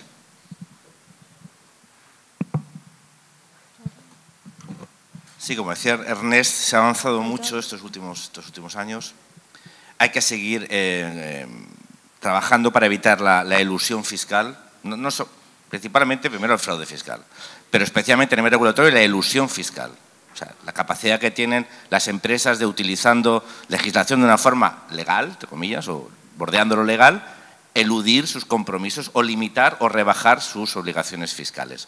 Y eso lo permite una, la falta de criterios homogéneos fiscales en el conjunto de la Unión. Y por lo tanto es necesario avanzar, por ejemplo, en las bases imponibles, en los mínimos imponibles del impuesto de sociedades. Y eso es fundamental, porque si no se provoca una situación de dumping fiscal que hace que las empresas se muevan y tributen en, los, en, aquellos países. El ejemplo de Irlanda es clarísimo, pero el ejemplo de Irlanda fue el mecanismo que ha tenido para crecer y para salir de su recesión económica. Pero claro, el caso de Luxemburgo es que es un Estado prácticamente es un paraíso fiscal. Y es un Estado de la Unión que ha hecho de, esa laxitud fiscal eh, convertirse de facto en un paraíso fiscal dentro de la Unión. Entonces, hay que combatir los paraísos fiscales fuera de la Unión, hay que combatir las prácticas de ilusión fiscal, pero sobre todo hay que evitar que haya Estados miembros de la Unión que hagan de la fiscalidad eh, un, pues un, paraíso que les permite, eh, pues en este caso, una, una competencia absolutamente desleal con el resto de países de la Unión. Sí, no, a veure, estic d'acord amb, amb, amb tot el que s'ha dit. Uh, jo crec que en impost de societats hem d'establir tipus mínims comuns i hem de fer una altra cosa. Hem d'establir una diferència màxima entre el nominal i el real, perquè aquest és l'altre drama, no? Ja diuen que l'impost eh, nominal és el, és el 20, però després el real és, és, és l'1. Aquí també podem legislar per posar eh, un marge, un marge eh, raonable, si és que hi ha d'haver marge. No? Exacte, i amb la base imponible comuna de l'impost de societats. I després l'altre tema és la lluita contra el frau fiscal a nivell europeu. Eh, I un altre cop estem parlant de coses que té sentit que es fagin a nivell europeu, que això no vol dir que traiem les competències a altres nivells d'administració. A la Unió Europea se'n van cada any 850.000 milions d'euros eh, pel, frau, pel frau fiscal i l'al·lusió fiscal i també hi ha molt blanqueig de capitals, etc. Això té molt sentit lluitar contra això a nivell supraestatal, a nivell europeu. I jo crec que no només necessitem una, una agència diguem-ne d'intel·ligència fiscal que coordini les altres agències, sinó una agència que tingui poders reals a l'hora d'acabar amb, el, amb el frau fiscal, que aquest hauria de ser el pas següent que hauríem de fer a nivell de vigilància fiscal la propera legislatura. Jo afegiria el que han dit els meus col·legues. Impostos europeus, absolutament a favor. Els reptes als que s'enfronta Europa i el que s'espera d'Europa creix cada any i els recursos no pugen. Ens podem trobar que el Brexit, si es confirma, redueixi d'una manera molt dràstica el pressupost de la Unió i ens cal tenir impostos europeus. Manca de voluntat política dels estats també quan a l'harmonització fiscal. En aquest sentit, són bones notícies que la Unió Europea, que la Comissió hagi imposat multes multimilionàries i el, el, obligar a tornar els diners que s'han escaquejat de pagar grans multinacionals per haver posat artificialment tota la tributació a Irlanda. Això redueix l'atractiu d'Irlanda com, a, com a paradís de dumping fiscal, però cal també diguem-ne aconseguir legislar i no només a base de multes desincentivar aquest tipus de, de dumping fiscal. Segurament és en la part que heu estat més d'acord tots, eh, de fiscalitat. Um, passem al següent bloc per, per tocar la crisi dels refugiats i també els drets lingüístics de la Unió Europea. Jo us volia plantejar, um, abans crec que ha sigut el, el Jordi, que ha parlat que les, els possibles suïcidis a Alemanya o a Grècia no haguéssim valgut igual. Bé, doncs tenim gent que es mor a la Mediterrània i la Unió Europea doncs, està, no ha complert les quotes d'acollida per part de, que havia marcat el Parlament Europeu per part dels estats i jo els pregunto què es pot fer davant d'aquesta eh, crisi de persones eh, migrades. Crisi dels refugiats, el gran fracàs d'Europa dels últims anys.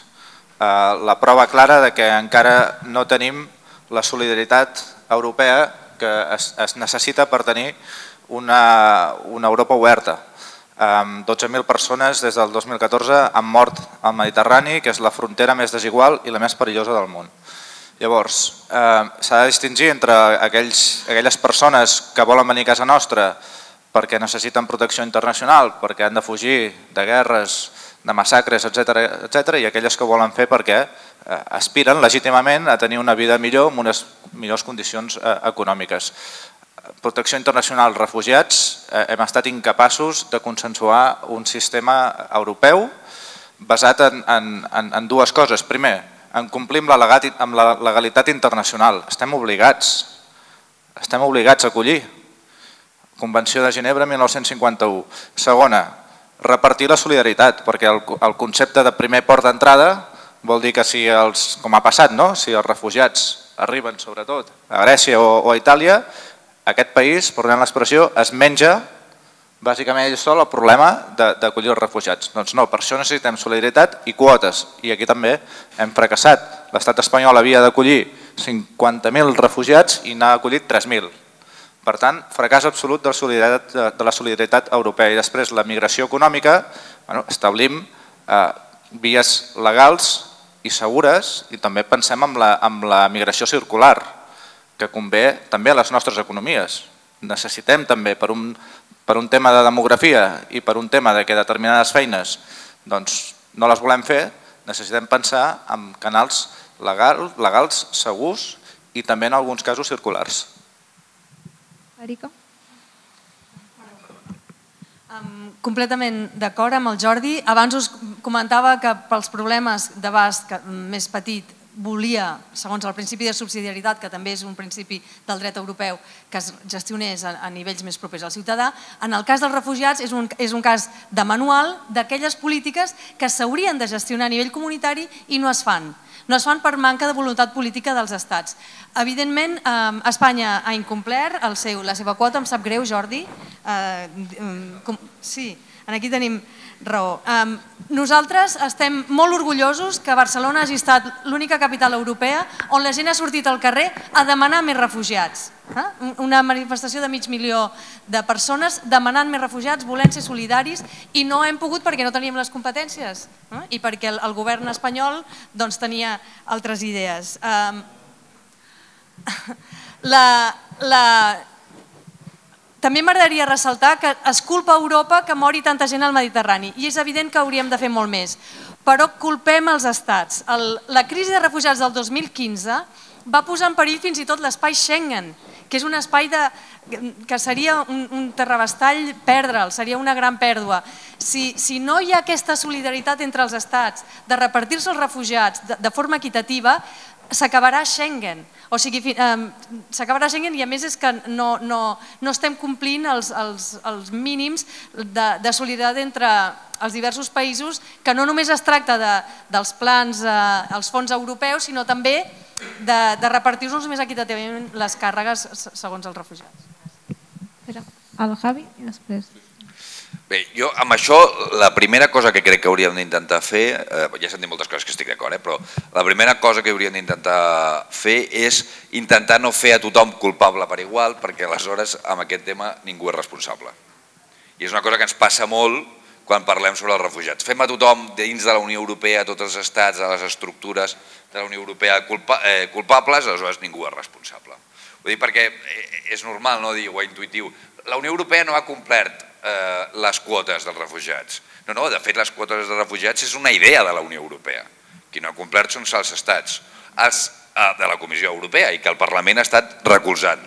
O diem, no, és que no tothom, eh, diguem, tots els estats són iguals, no? o només Barcelona eh, ha volgut refugiats. No, no, depèn dels estats. A Alemanya, a Berlín reclamaven refugiats, a Berlín els tenien. De fet, a totes les grans ciutats alemanyes, tots els poliesportius, les antigues escoles, tot estava gestionant l'arribada d'un milió de persones al 2015.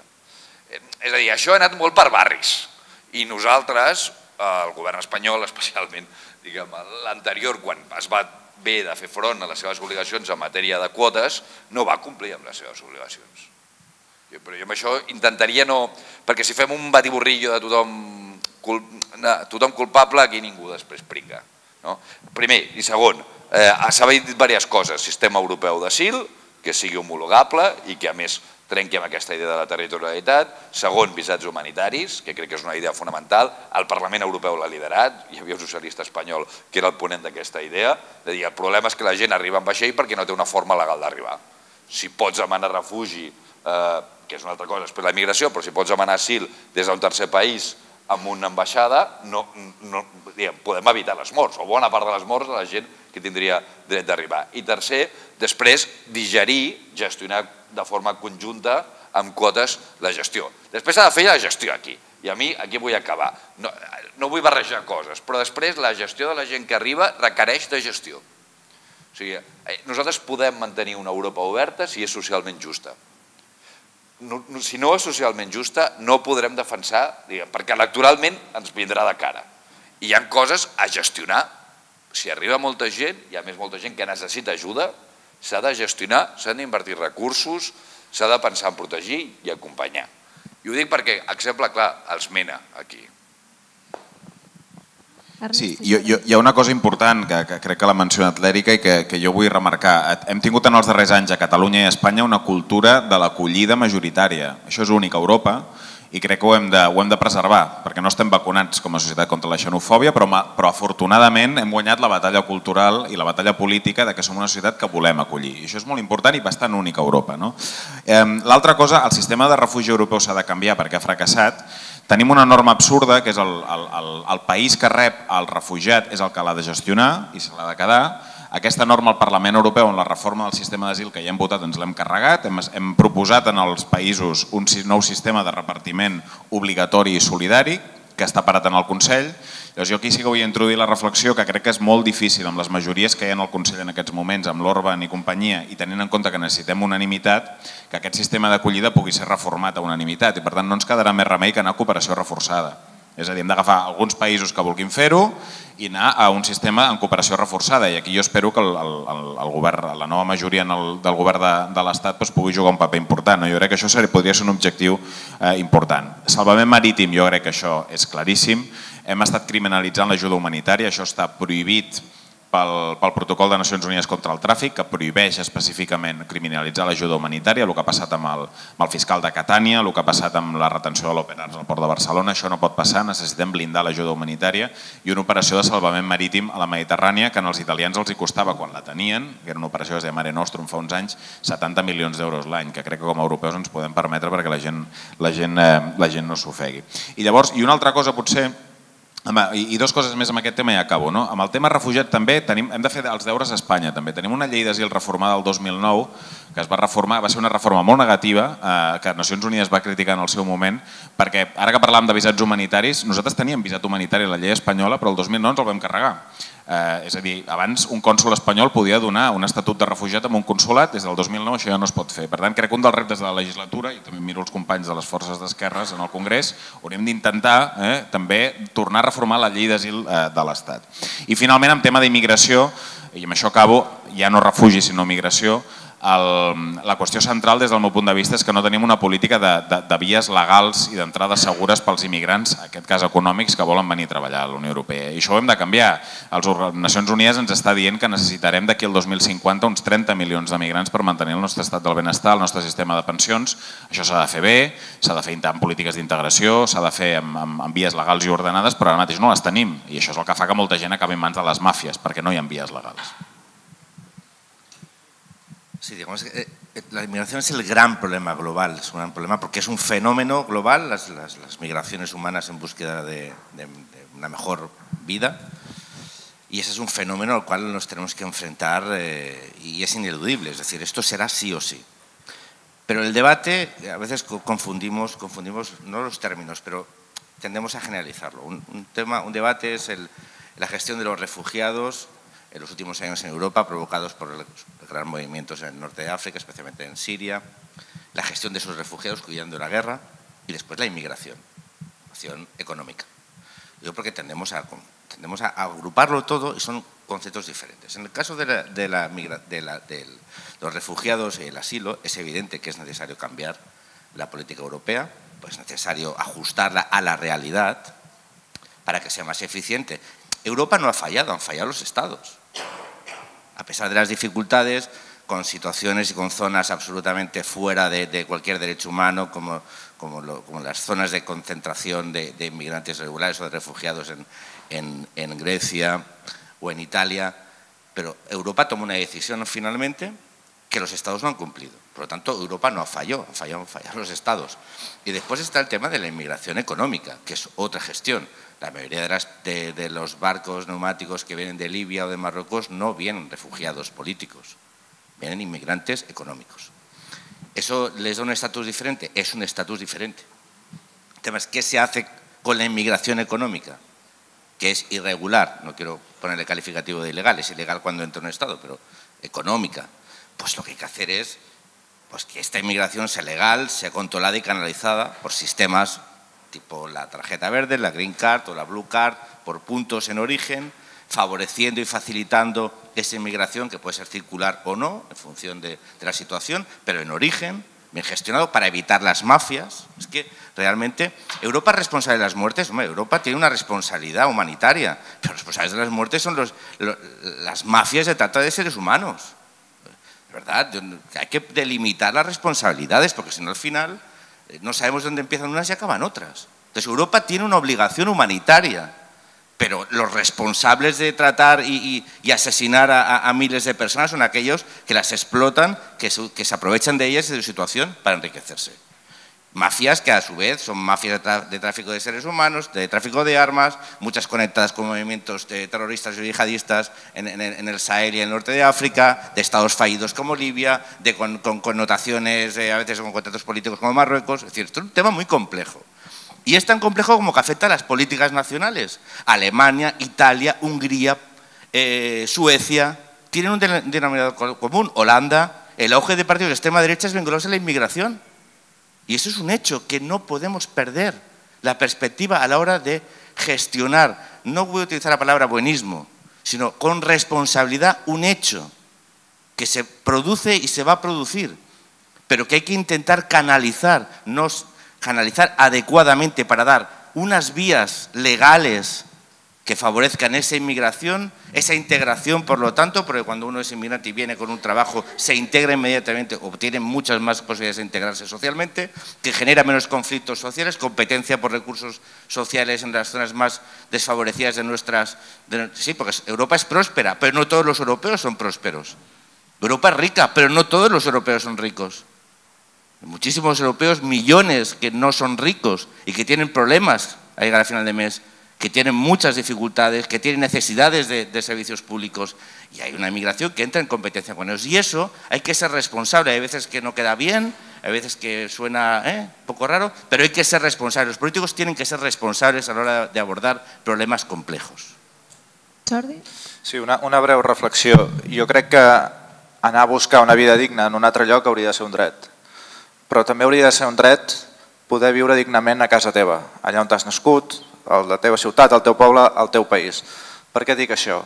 Perquè estem parlant de mesures, tant amb la immigració econòmica com la no econòmica, que no deixen de ser mesures pal·liatives, perquè si no anem a l'arrel del problema, i l'arrel del, del problema és que tenim un veïnatge sud, uns països a l'Àfrica, al nord, d'Àfrica, a l'Orient Mitjà, que hi ha bombes de rellotgeria socioeconòmiques, geopolítiques.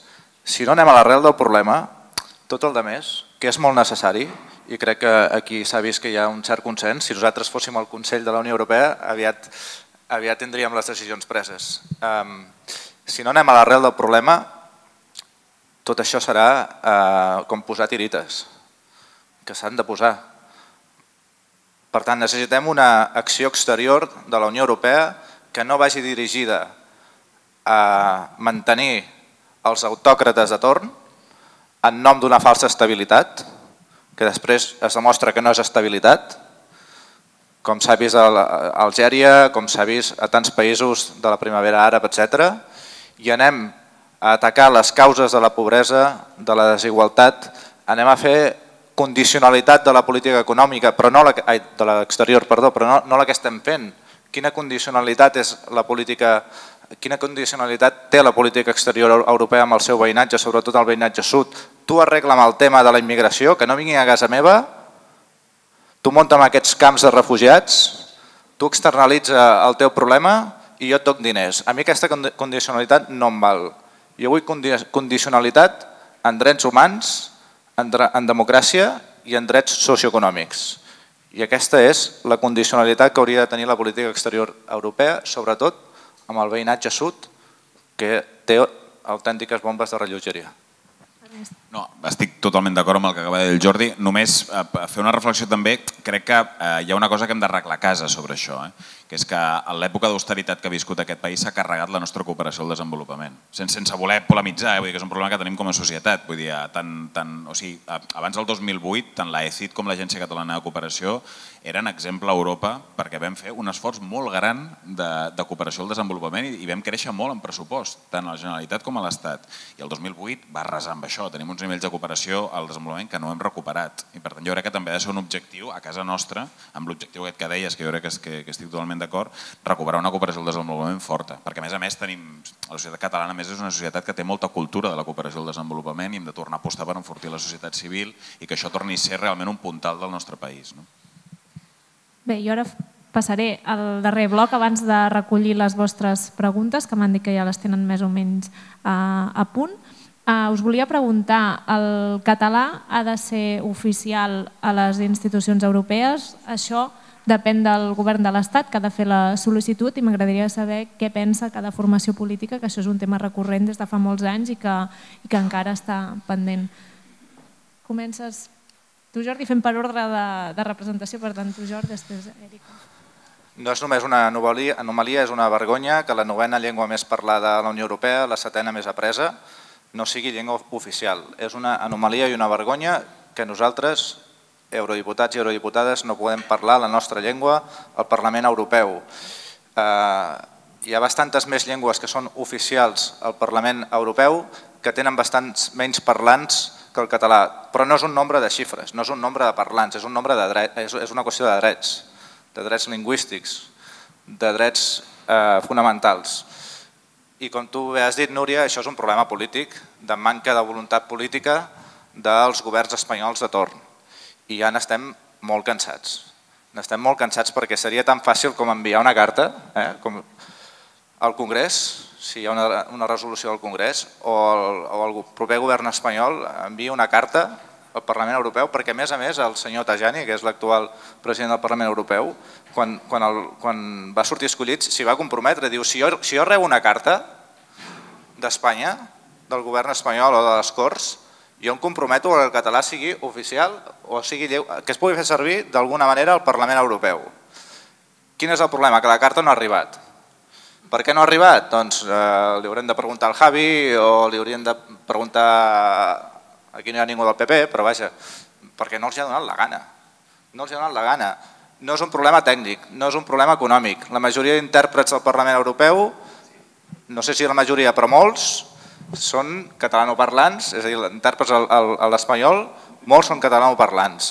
No hi ha cap problema econòmic, no hi ha cap problema tècnic, és un problema de voluntat política i amb aquestes excuses incomprensibles estan trepitjant els nostres drets lingüístics i n'estem farts de regressions en drets i llibertats a la Unió Europea. No n'acceptarem ni una més, ni una més, perquè si la Unió Europea va néixer fa gairebé 70 anys, va ser per establir un espai de democràcia i de llibertat i estem en regressió en drets i llibertats, drets lingüístics, drets polítics, repressió, autoritarisme i nosaltres volem plantar cara a, aquest, a aquests passos enrere que estem veient a la Unió Europea i també, malauradament, al nostre país. Jo em sumo 200% al que acaba de dir el Jordi. De fet, m'hauria encantat anar junts a la mateixa llista. Eh, no ha pogut ser possible, eh, no serà per manca de voluntat nostra. Efectivament, nosaltres en el nostre programa portem que el català i l'occità siguin llengües oficials a Europa. El, els que bloquegen han de donar explicacions, no nosaltres, nosaltres hi estem a favor. El, el que causa aquesta de tractar la llengua catalana i malauradament, via la repressió, els ciutadans catalans, com a ciutadans de segona o de tercera categoria, que estem empresonats, estem represaliats, estem exiliats, mina la legitimitat de l'estat espanyol a Catalunya. I això és una de les raons per les quals nosaltres volem deixar de dependre de la voluntat política d'uns senyors que estan demostrant que no ens estimen gaire, a no ser que sigui per pagar, per això sí que volen ser que siguem, que siguem espanyols, però per la resta no ens estimen gaire, ni defensen els nostres drets culturals, lingüístics, polítics, fonamentals, etc. I volem esdevenir un nou estat a Europa, per no haver de demanar permís a Madrid perquè el nostre idioma sigui oficial, com ho és el croat, el letó, el lituà, l'estonià, etc. Bé, la carta va arribar l'any 2005 us explico una mica d'on venim perquè si no queda una mica descontextualitzat. El govern de Zapatero en el seu moment va introduir dins del Consell, sí, sí, no mires amb aquesta cara, eh, ets dir, eh, a l'any 2005 va introduir al Consell un punt per demanar formalment la petició de que el català fos una llengua d'ús per part de les institucions europees i que es pogués parlar al Parlament europeu. De fet, fruit d'això es va acordar que el, parla, que el català fos una llengua d'ús. Els ciutadans catalans ens podem adreçar a la Unió Europea eh, en català i després té l'obligació de les institucions europees de contestar... Eh, eh, no, no, he demanat, he demanat informació sobre fer-ho. Eh, sí, sí, no, he demanat informació sobre això perquè com sabia que parlem d'això, no, no, jo faig els meus deures. Eh, i, I a més, a l'acord inclou que sigui l'estat espanyol qui paga les traduccions diguem, de les respostes. Diguem, no sé si pot funcionar millor, segur que sí, com moltes altres coses. Com moltes altres coses. Jo dic, de fet, vas al Parlament de Catalunya, a la Unió Europea, i els fulletons que agafes es dirigeixen a Catalunya en català, òbviament, per posar un exemple molt clar. Què va passar aleshores l'any 2005? Doncs que es va portar a la mesa del Parlament de, eh, europeu la votació sobre aquesta petició que feia el govern espanyol i mitjançant el Consell, és a dir, que el Consell demanava al Parlament. Es va votar a la mesa, del Parlament Europeu i va sortir rebutjat per un vot. I aquesta és la realitat del que ha passat fins aquí i el que va fer del govern socialista al voltant del català. De fet, per un vot, i també val a dir-ho, un del que era català, Vidal Quadres. Legítim, la seva opinió com qualsevol altra, però mmm, aquesta va ser la realitat l'any 2005. A mi em sembla molt raonable que les institucions europees facin un esforç per respectar totes les comunitats lingüístiques i aquesta, pel seu tamany, com a mínim pel seu tamany, ho val. I els passos que s'han donat en aquest sentit només han estat a la mà de majories socialistes a Espanya. I esperem que ara hi continuem fent com hem fet en el passat. Eh, dient que està a la mesa del Parlament, que no... no, no, no, no. Bueno, aviam, jo, jo, jo, jo, jo crec que, que ha de ser un objectiu polític aconseguir-ho en aquesta legislatura, posem-nos posem propositius, és evident, i, i hem d'aconseguir que sigui llengua oficial de la Unió Europea, amb tots els drets. I és evident que això depèn de que el govern de l'Estat eh, s'arremangui s'hi posi, faci la petició i ho desbloquegi. Val? Llavors, l'única cosa que sí podem aspirar és que en les negociacions de la nova majoria ara no m'estan escoltant, però que els involucra amb ells dos, eh, eh, posem aquest tema sobre la taula. Com a mínim nosaltres ho farem. Eh? Vull dir, en la configuració del nou govern de l'Estat nosaltres demanarem que aquesta qüestió sigui tinguda en compte i el català esdevingui eh, llengua oficial de la Unió Europea.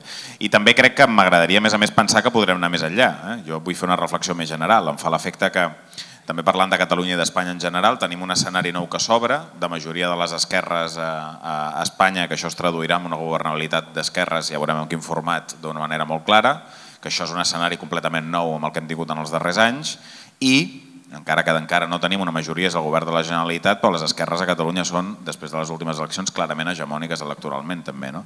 I jo sí que espero que en els propers anys les esquerres puguin liderar una nova dinàmica de diàleg entre Catalunya i Espanya, ara que, som que podem aspirar a ser hegemòniques a, tant a Catalunya com a Espanya i que puguem desbloquejar moltes coses, eh? que puguem trobar solucions a moltes de les coses que, que han passat en els darrers anys i que una de les solucions, que simbòlicament és molt i molt important, és que nosaltres puguem acabar aquesta legislatura parlant en català al Parlament Europeu, que crec que seria un pas realment extraordinari.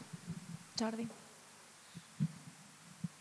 El catalán es lengua de comunicación con, el, con, las instituciones europeas gracias a los acuerdos bilaterales que han, han, emprendido los diferentes gobiernos de España. Un ciudadano catalán o catalano parlante o valenciano o, de las Baleares o incluso del sur de Francia puede dirigirse a las comunidades eh, europeas o a las instituciones europeas en catalán y ser eh, contestado en, o respondida su, su pregunta o su solicitud en catalán. Eso es automático. Si te diriges a las instituciones europeas en catalán, se te contesta en catalán. Pues debes mirártelo porque los acuerdos bilaterales están firmados. Pues están firmados y supongo que están hasta pagados, fíjate. Bueno, pero eso en principio es así. O sea, es una lengua de comunicación eh, porque así está acordado bilateralmente desde el Gobierno de España con las instituciones. ¿Se puede avanzar? Dependerá en este caso ahora del Gobierno de Pedro Sánchez. Es el que es pues, competente, puede pedirlo al Consejo y si se vota por, por unanimidad, se aprueba. Luego La pelota está en el tejado de él. Ahora mismo, espero, bueno, espero no, espero que no, pero de que unos meses parece ¿eh? del, del Partido Socialista. Hombre, yo simplemente como yo que, que, creemos en la diversidad lingüística, me gustaría que en Cataluña pasara lo mismo, que siempre que uno se dirige a la administración pública en castellano, se le contestase en castellano. Eso no pasa, a no ser que se pida específicamente en cada ocasión, pero automáticamente no pasa. Segundo, también me gustaría que uno tuviese el derecho a educarse también en su idioma materno y oficial, que es el castellano, con naturalidad. Eso no pasa. No pasa en ningún otro sitio de Europa, pero pasa en Cataluña. En Barcelona siempre te acaba pasando que te adelanta un grupo de niños y niñas hablando en castellano. Sales a la calle y nada indica que aquello sea la calle de tus padres y tus abuelos. El castellano avanza, impecable, implacable, voraz, rapidísimo. ¿Seguimos? Venga. No, no es nada natural hablar en español en Cataluña, yo debo ser antinatural. ¿eh? No querer, no, Europa, pero esto es Europa también, derechos europeos, porque los derechos que afectan, o la limitación de derechos que afecta a cualquier ciudadano europeo en cualquier parte del territorio europeo, también hay que decirlo. Entonces, algunos defenderán, y yo con ellos, y el partido con ellos, derechos lingüísticos de los catalanoparlantes. Podeu mantenir silenci al, al públic mentre acaba la intervenció el Jordi, després el Jordi Soler m'ha demanat la paraula i el respondrà. Mira, para acabar, los derechos tienen que ser iguales para todos. Reclamar derechos cuando se deniegan a tus conciudadanos es un acto de profunda hipocresía. Bé, jo crec que la pregunta era molt clara. Eh, hem de poder parlar en català al Parlament Europeu o no? Eh, sentint la llarga resposta d'en Jordi Canyes, no entès res. No sé si esteu a favor o no. I, i era, era pregunta-resposta, sí o no. I a més, és, si és que sí, és molt fàcil. Si és que sí, és, és molt fàcil.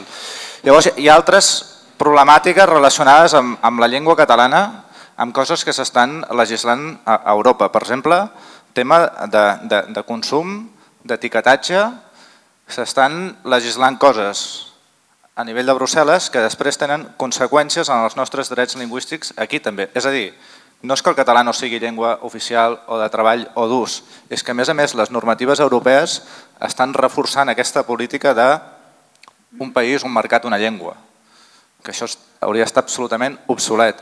I per tant, no, no, a tot, a tot arreu, tot a, no, no, a tot arreu, a tot arreu, a tot arreu. Els, els, els drets són drets a tot arreu. I per tant, tenim aquesta problemàtica també. Una altra problemàtica relacionada amb, amb, amb, amb l'estatus discriminat del català a la Unió Europea. Perquè el, el programa Erasmus no pot tenir en compte i altres programes d'aprenentatge que aquí, sí, sí, això passa. O sigui, el, el, la Unió Europea no promou els intercanvis en funció de la novena llengua més parlada a, a la Unió Europea. Per tant, hi ha molts nivells d'un tractament anormal de la nostra llengua. Amb el, que vull, el que vull dir amb això és que no s'acaba només amb l'oficialitat del català, que és absolutament, eh, hauria de ser absolutament normal i, i justa, sinó que hi ha molts altres aspectes relacionats amb la legislació europea i amb els programes europeus que també reforcen aquesta discriminació de la nostra llengua. L'Ernest, i i serà la darrera intervenció, si no em dieu el contrari, per passar després a les preguntes del, del públic. No, jo, jo només volia dir que, que no, no, no m'agrada que, que, que polititzem eh, la llengua a Catalunya. Crec que no hem tingut mai cap problema lingüístic a Catalunya. Crec que som una societat afortunadament molt integrada lingüísticament. No és el cas d'altres eh, eh, llocs de la Unió Europea on hi ha problemes lingüístics. Aquesta és una societat que parla en castellà, parla en català indistintament i mai hem tingut un problema amb la llengua. I crec que el sistema d'immersió eh, lingüística és la història d'un èxit, que a més a més eh, va, ser la conquesta, va ser la conquesta d'aquells catalans moltes vegades vinguts de fora de Catalunya que volien que els seus fills aprenguessin català. I si avui tenim una societat en la qual els nostres fills i filles parlen perfectament i escriuen perfectament en català i en castellà és gràcies a aquest sistema d'immersió. I per tant, jo vull, fer, vull trencar una llança a favor del sistema d'immersió i sobretot demanar que no polititzem la llengua a Catalunya perquè mai hem tingut un problema lingüístic a Catalunya.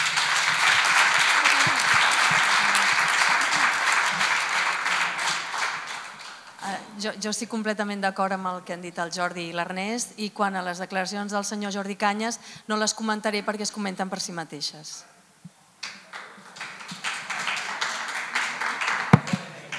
passem a les preguntes que ens heu fet vosaltres. Se n'han seleccionat cinc, n'hi havia moltes. La primera la fa el Juan Guerrero, que us pregunta quina és la vostra posició política sobre la mutualització del deute. Si creieu que hi ha d'haver bons europeus o, o això és una cosa que no es veurà en aquesta legislatura.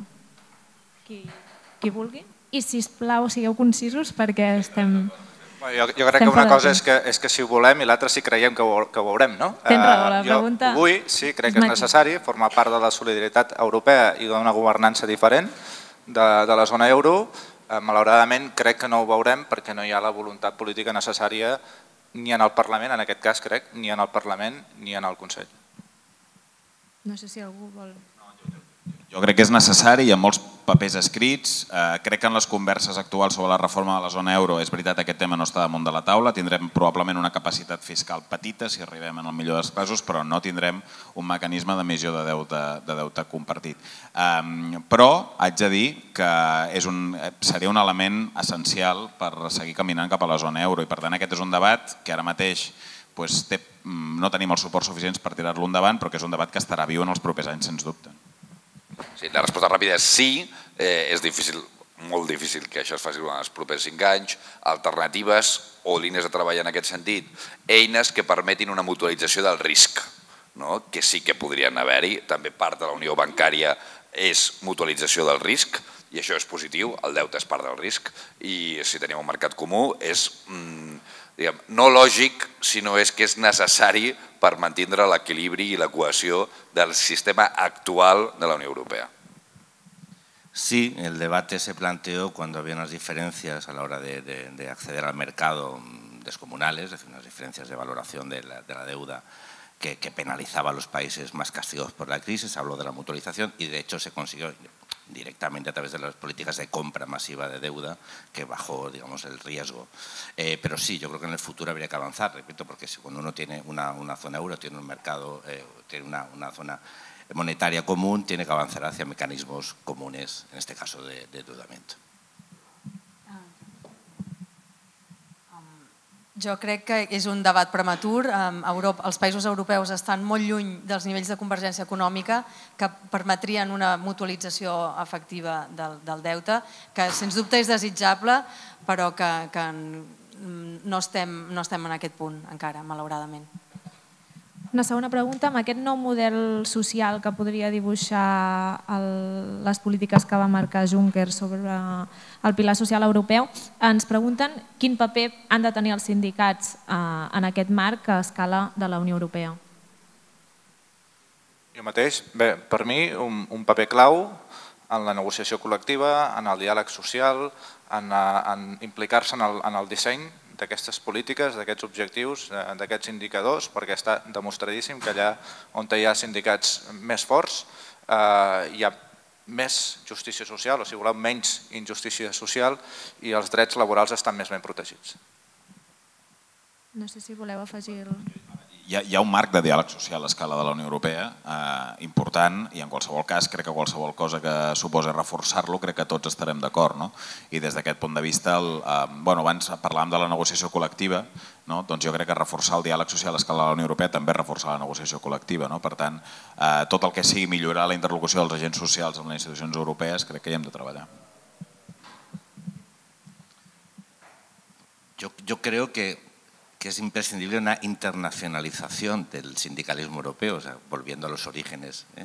de, la vieja izquierda, de los trabajadores en Europa tienen que unirse.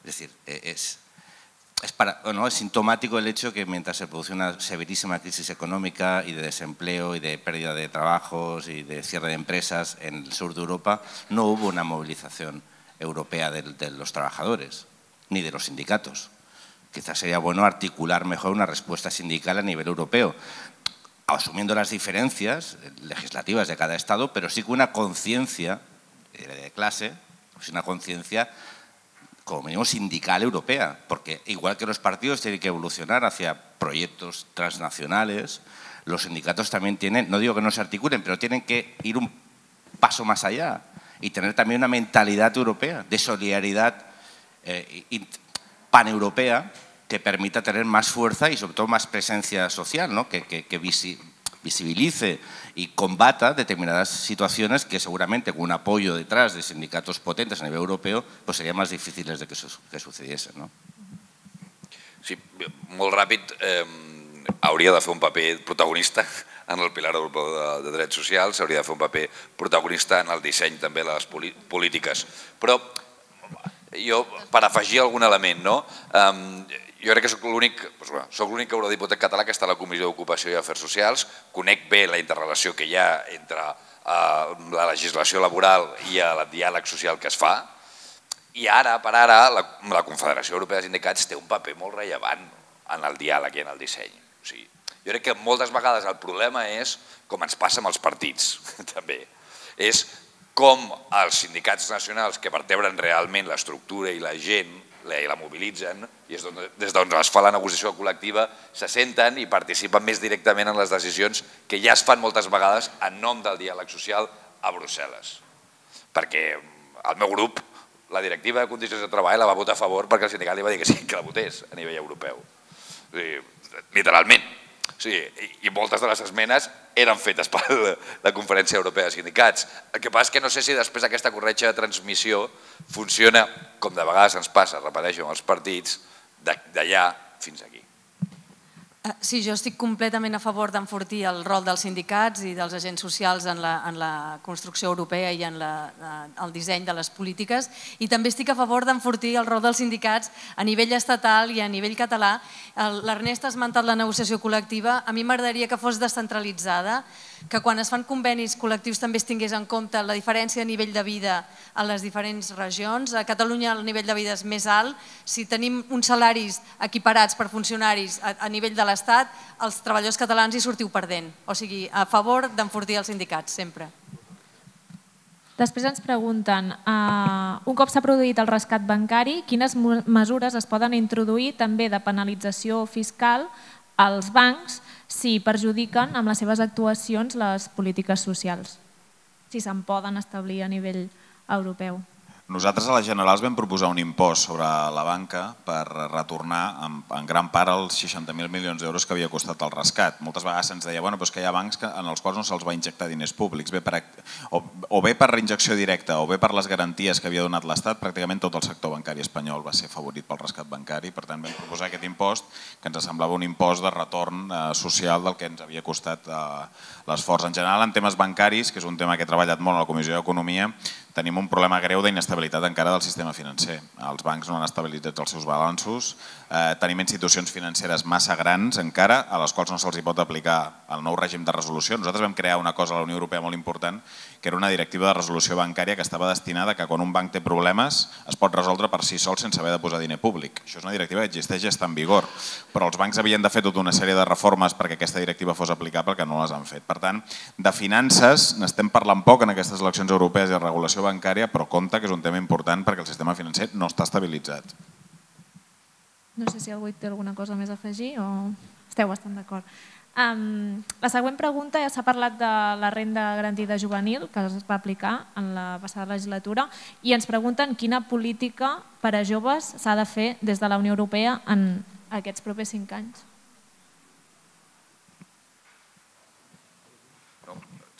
Tenim, tenim un programa que hem començat a instaurar, aquest era un programa per la crisi, la política que s'hauria de fer és que aquest programa no fos un programa per la crisi, sinó fos una política permanent i que eh, sigués, fóssim capaços de que fos més eficaç, arribés a més gent i l'aplicació tingués més lògica com en països com aquests, que no ha tingut tota la lògica que tindria. Però aquesta, jo crec que aquesta, la garantia juvenil, hauria de ser eh, la gran aposta per adreçar la gent més jove europea, perquè barreja, si es fa bé, orientació, formació, introducció al mercat laboral i canvis estructurals en els serveis actius d'ocupació, que és això el que no s'ha fet jo crec, amb diners europeus que no només afectarien a les joves, sinó també a la gent gran. Determinar mejor eh, cómo, cómo, implementar el plan de garantía juvenil. Es decir, yo creo que ha habido una, una ineficiente implementación nacional, caso de España, antes lo comentaba Javi, eh, que es evidente, cómo se han empleado los recursos. Probablemente sería también imprescindible ese plan de empleo juvenil potente, porque los, datos de desempleo de, la gente joven en Europa en general y especialmente en algunos países son absolutamente lacerantes. hay, unos porcentajes de desempleo terribles. Pero como mínimo, siempre primero hay que desarrollar bien los instrumentos que se tienen. Y, que, y en este caso, en España en concreto, es aplicar adecuadamente los fondos correspondientes al Plan de Garantía Juvenil para que sea un instrumento que permita impulsar y transformar la situación que viven los jóvenes en nuestro país. Sí, um, el programa de garantia juvenil, que és, és, és garantia juvenil, no són rendes juvenils, em sembla que s'havia plantejat en termes de rendes, no, no són rendes. Um, els qui els apliquen eh, de la Generalitat ens, ens diuen que a part, a part del problema de, de, la, del temps que, que, que dura és la gran burocràcia que hi ha um, en Brussel·les i aquesta vegada, a vegades jo, jo no som massa favorable de parlar del gran monstre burocràtic a Brussel·les perquè, perquè no existeix, però en aquest cas la justificació de tota la, de tota la garantia doncs es veu que és molt, és molt fèrria i és una de les coses que, que hem de millorar. L'última pregunta, eh, des de les Terres de Ponent ens pregunten què s'ha de fer amb el descens del, fins al 5% de la política agrària comuna i com pot afectar això el futur de l'agricultura lleidatana i catalana. Mm. Amb el tema dels recursos, eh, ara tenim una gran...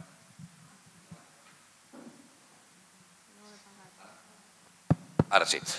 Tenim ara el debat sobre el marc financer plurianual, que és el gran macropressupost per sis anys. No? Hi ha una discussió molt forta sobre això i, a més, eh, defensors de les polítiques tradicionals, l'agrícola i la de cohesió, diuen el tanto perquè eh, podem veure rebaixat els nostres eh, recursos.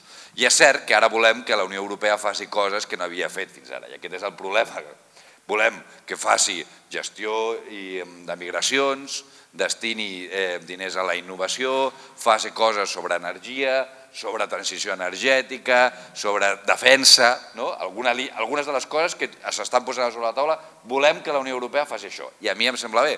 El problema és que si es manté el mateix pressupost, això, clar, o, o menor perquè els britànics marxen, anirà en detriment a les polítiques de cohesió i les polítiques agrícoles. O sigui que aquí el tema, a la PAC, el tema és, si volem fer noves coses, necessitem nous recursos. Si volem mantenir el que es feia fins ara, com nosaltres volem.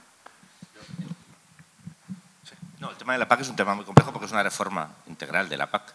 Entonces, no solo es el, el dinero que se destina, sino el propio funcionamiento de, de, la PAC, por lo tanto, y está sobre la mesa, todavía son datos, se está negociando yo creo que eh, a eso sí que nos tenemos que conjurar el conjunto de partidos políticos españoles que están en la Cámara, de intentar que esa modificación de la PAC no afecte negativamente al, conjunto de agricultores y ganaderos eh, españoles e intentar que se mantengan los fondos y sobre todo que se adapte adecuadamente al, modelo agrícola y ganadero español. Yo creo que tenemos que, que velar, en este caso sí, por los intereses españoles, esta reforma de la PAC no lesione a los, a los, a los agricultores en nuestro país. ¿no? Y eso que, creo que podría ser un elemento común y que sería bueno que incluso a nivell europeu intentásemos coordinarlo adequadamente.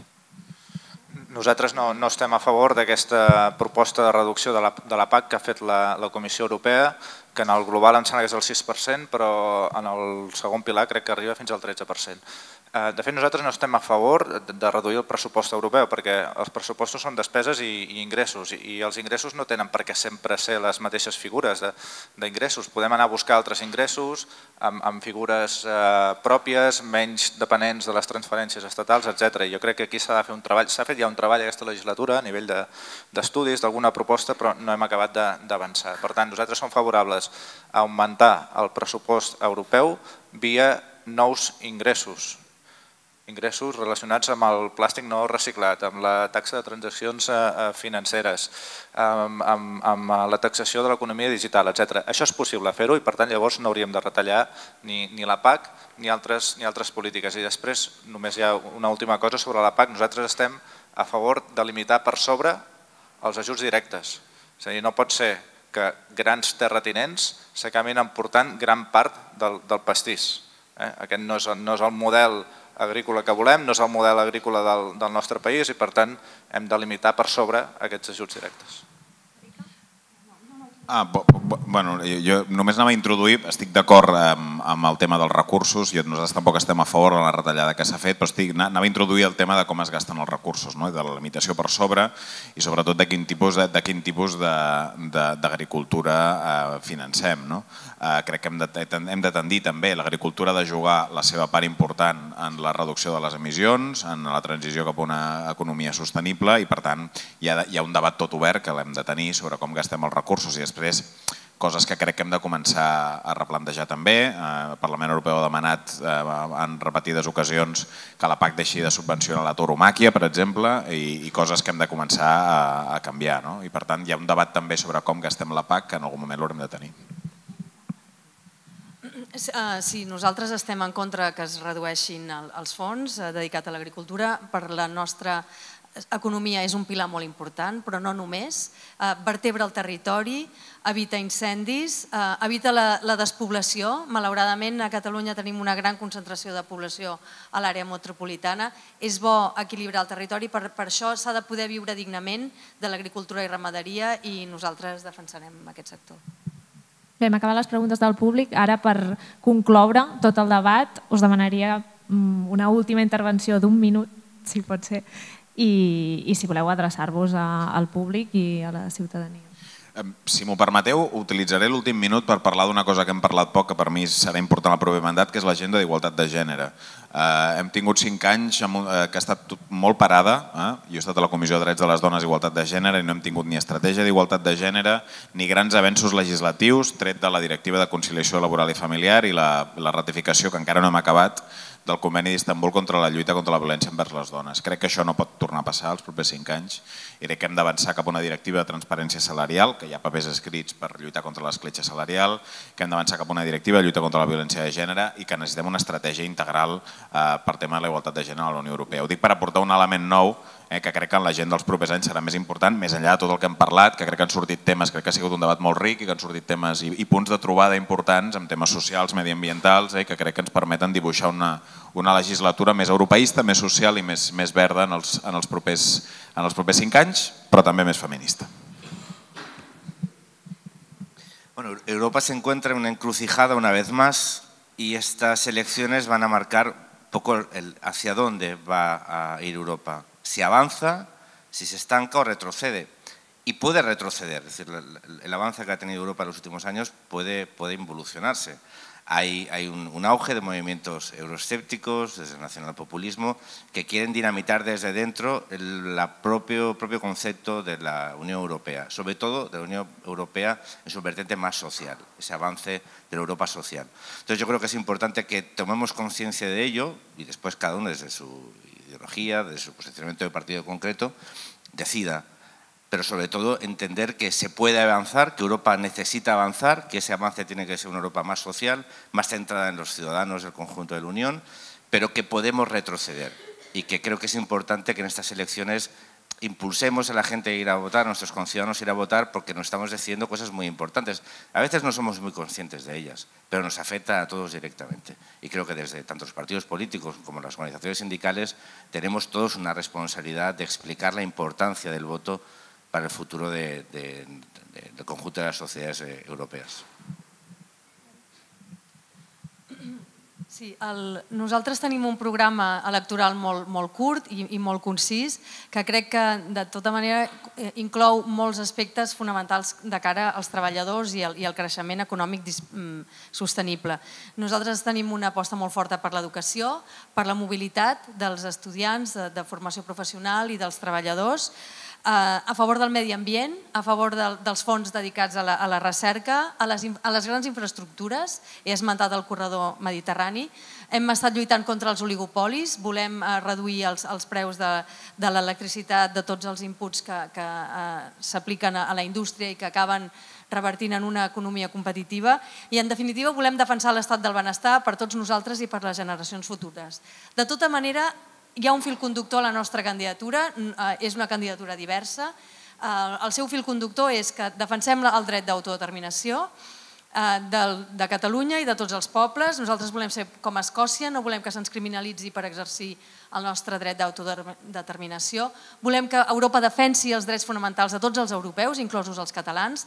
Lluitarem per treure els, els presos polítics i preses polítiques de la presó i per recordar a Europa que si no és fidel als seus valors fundacionals de democràcia, estat de dret i drets humans, eh, perdrà l'ànima i serà incapaç de, de tenir un discurs coherent eh, envers l'auge de, dels partits d'extrema dreta, que no sé per què el senyor Jordi Canyes ens, ens en avisa, perquè Andalusia ve que governen junts, o sigui que hi ha una mica de, de contradicció aquí, però eh, no es tractava d'això al meu minut.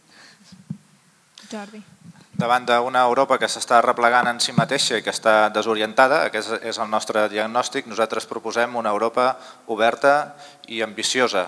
Davant d'una Europa obsessionada per l'austeritat, nosaltres proposem una Europa amb prosperitat compartida. Davant d'una Europa que rescata bancs, nosaltres proposem una Europa que rescati persones, aquelles que ho tenen més difícil, i que rescati el nostre medi ambient que està en un greu eh, perill però de totes maneres també creiem que no hi ha millor manera de defensar una Europa millor que lluitant pels nostres drets, per les nostres llibertats. El combat per la democràcia, per les llibertats fonamentals que estem duent a terme aquí a Catalunya, en el nostre país, és també un combat per una Europa millor. És també el combat per aquella Europa que els pares fundadors, dic pares perquè no hi havia dones en aquell moment fundadores, els pares fundadors quan pensaven en aquesta Europa, pensaven en l'Europa dels drets i llibertats que està en regressió. I per tant, combatent aquesta regressió, estem defensant una Europa millor.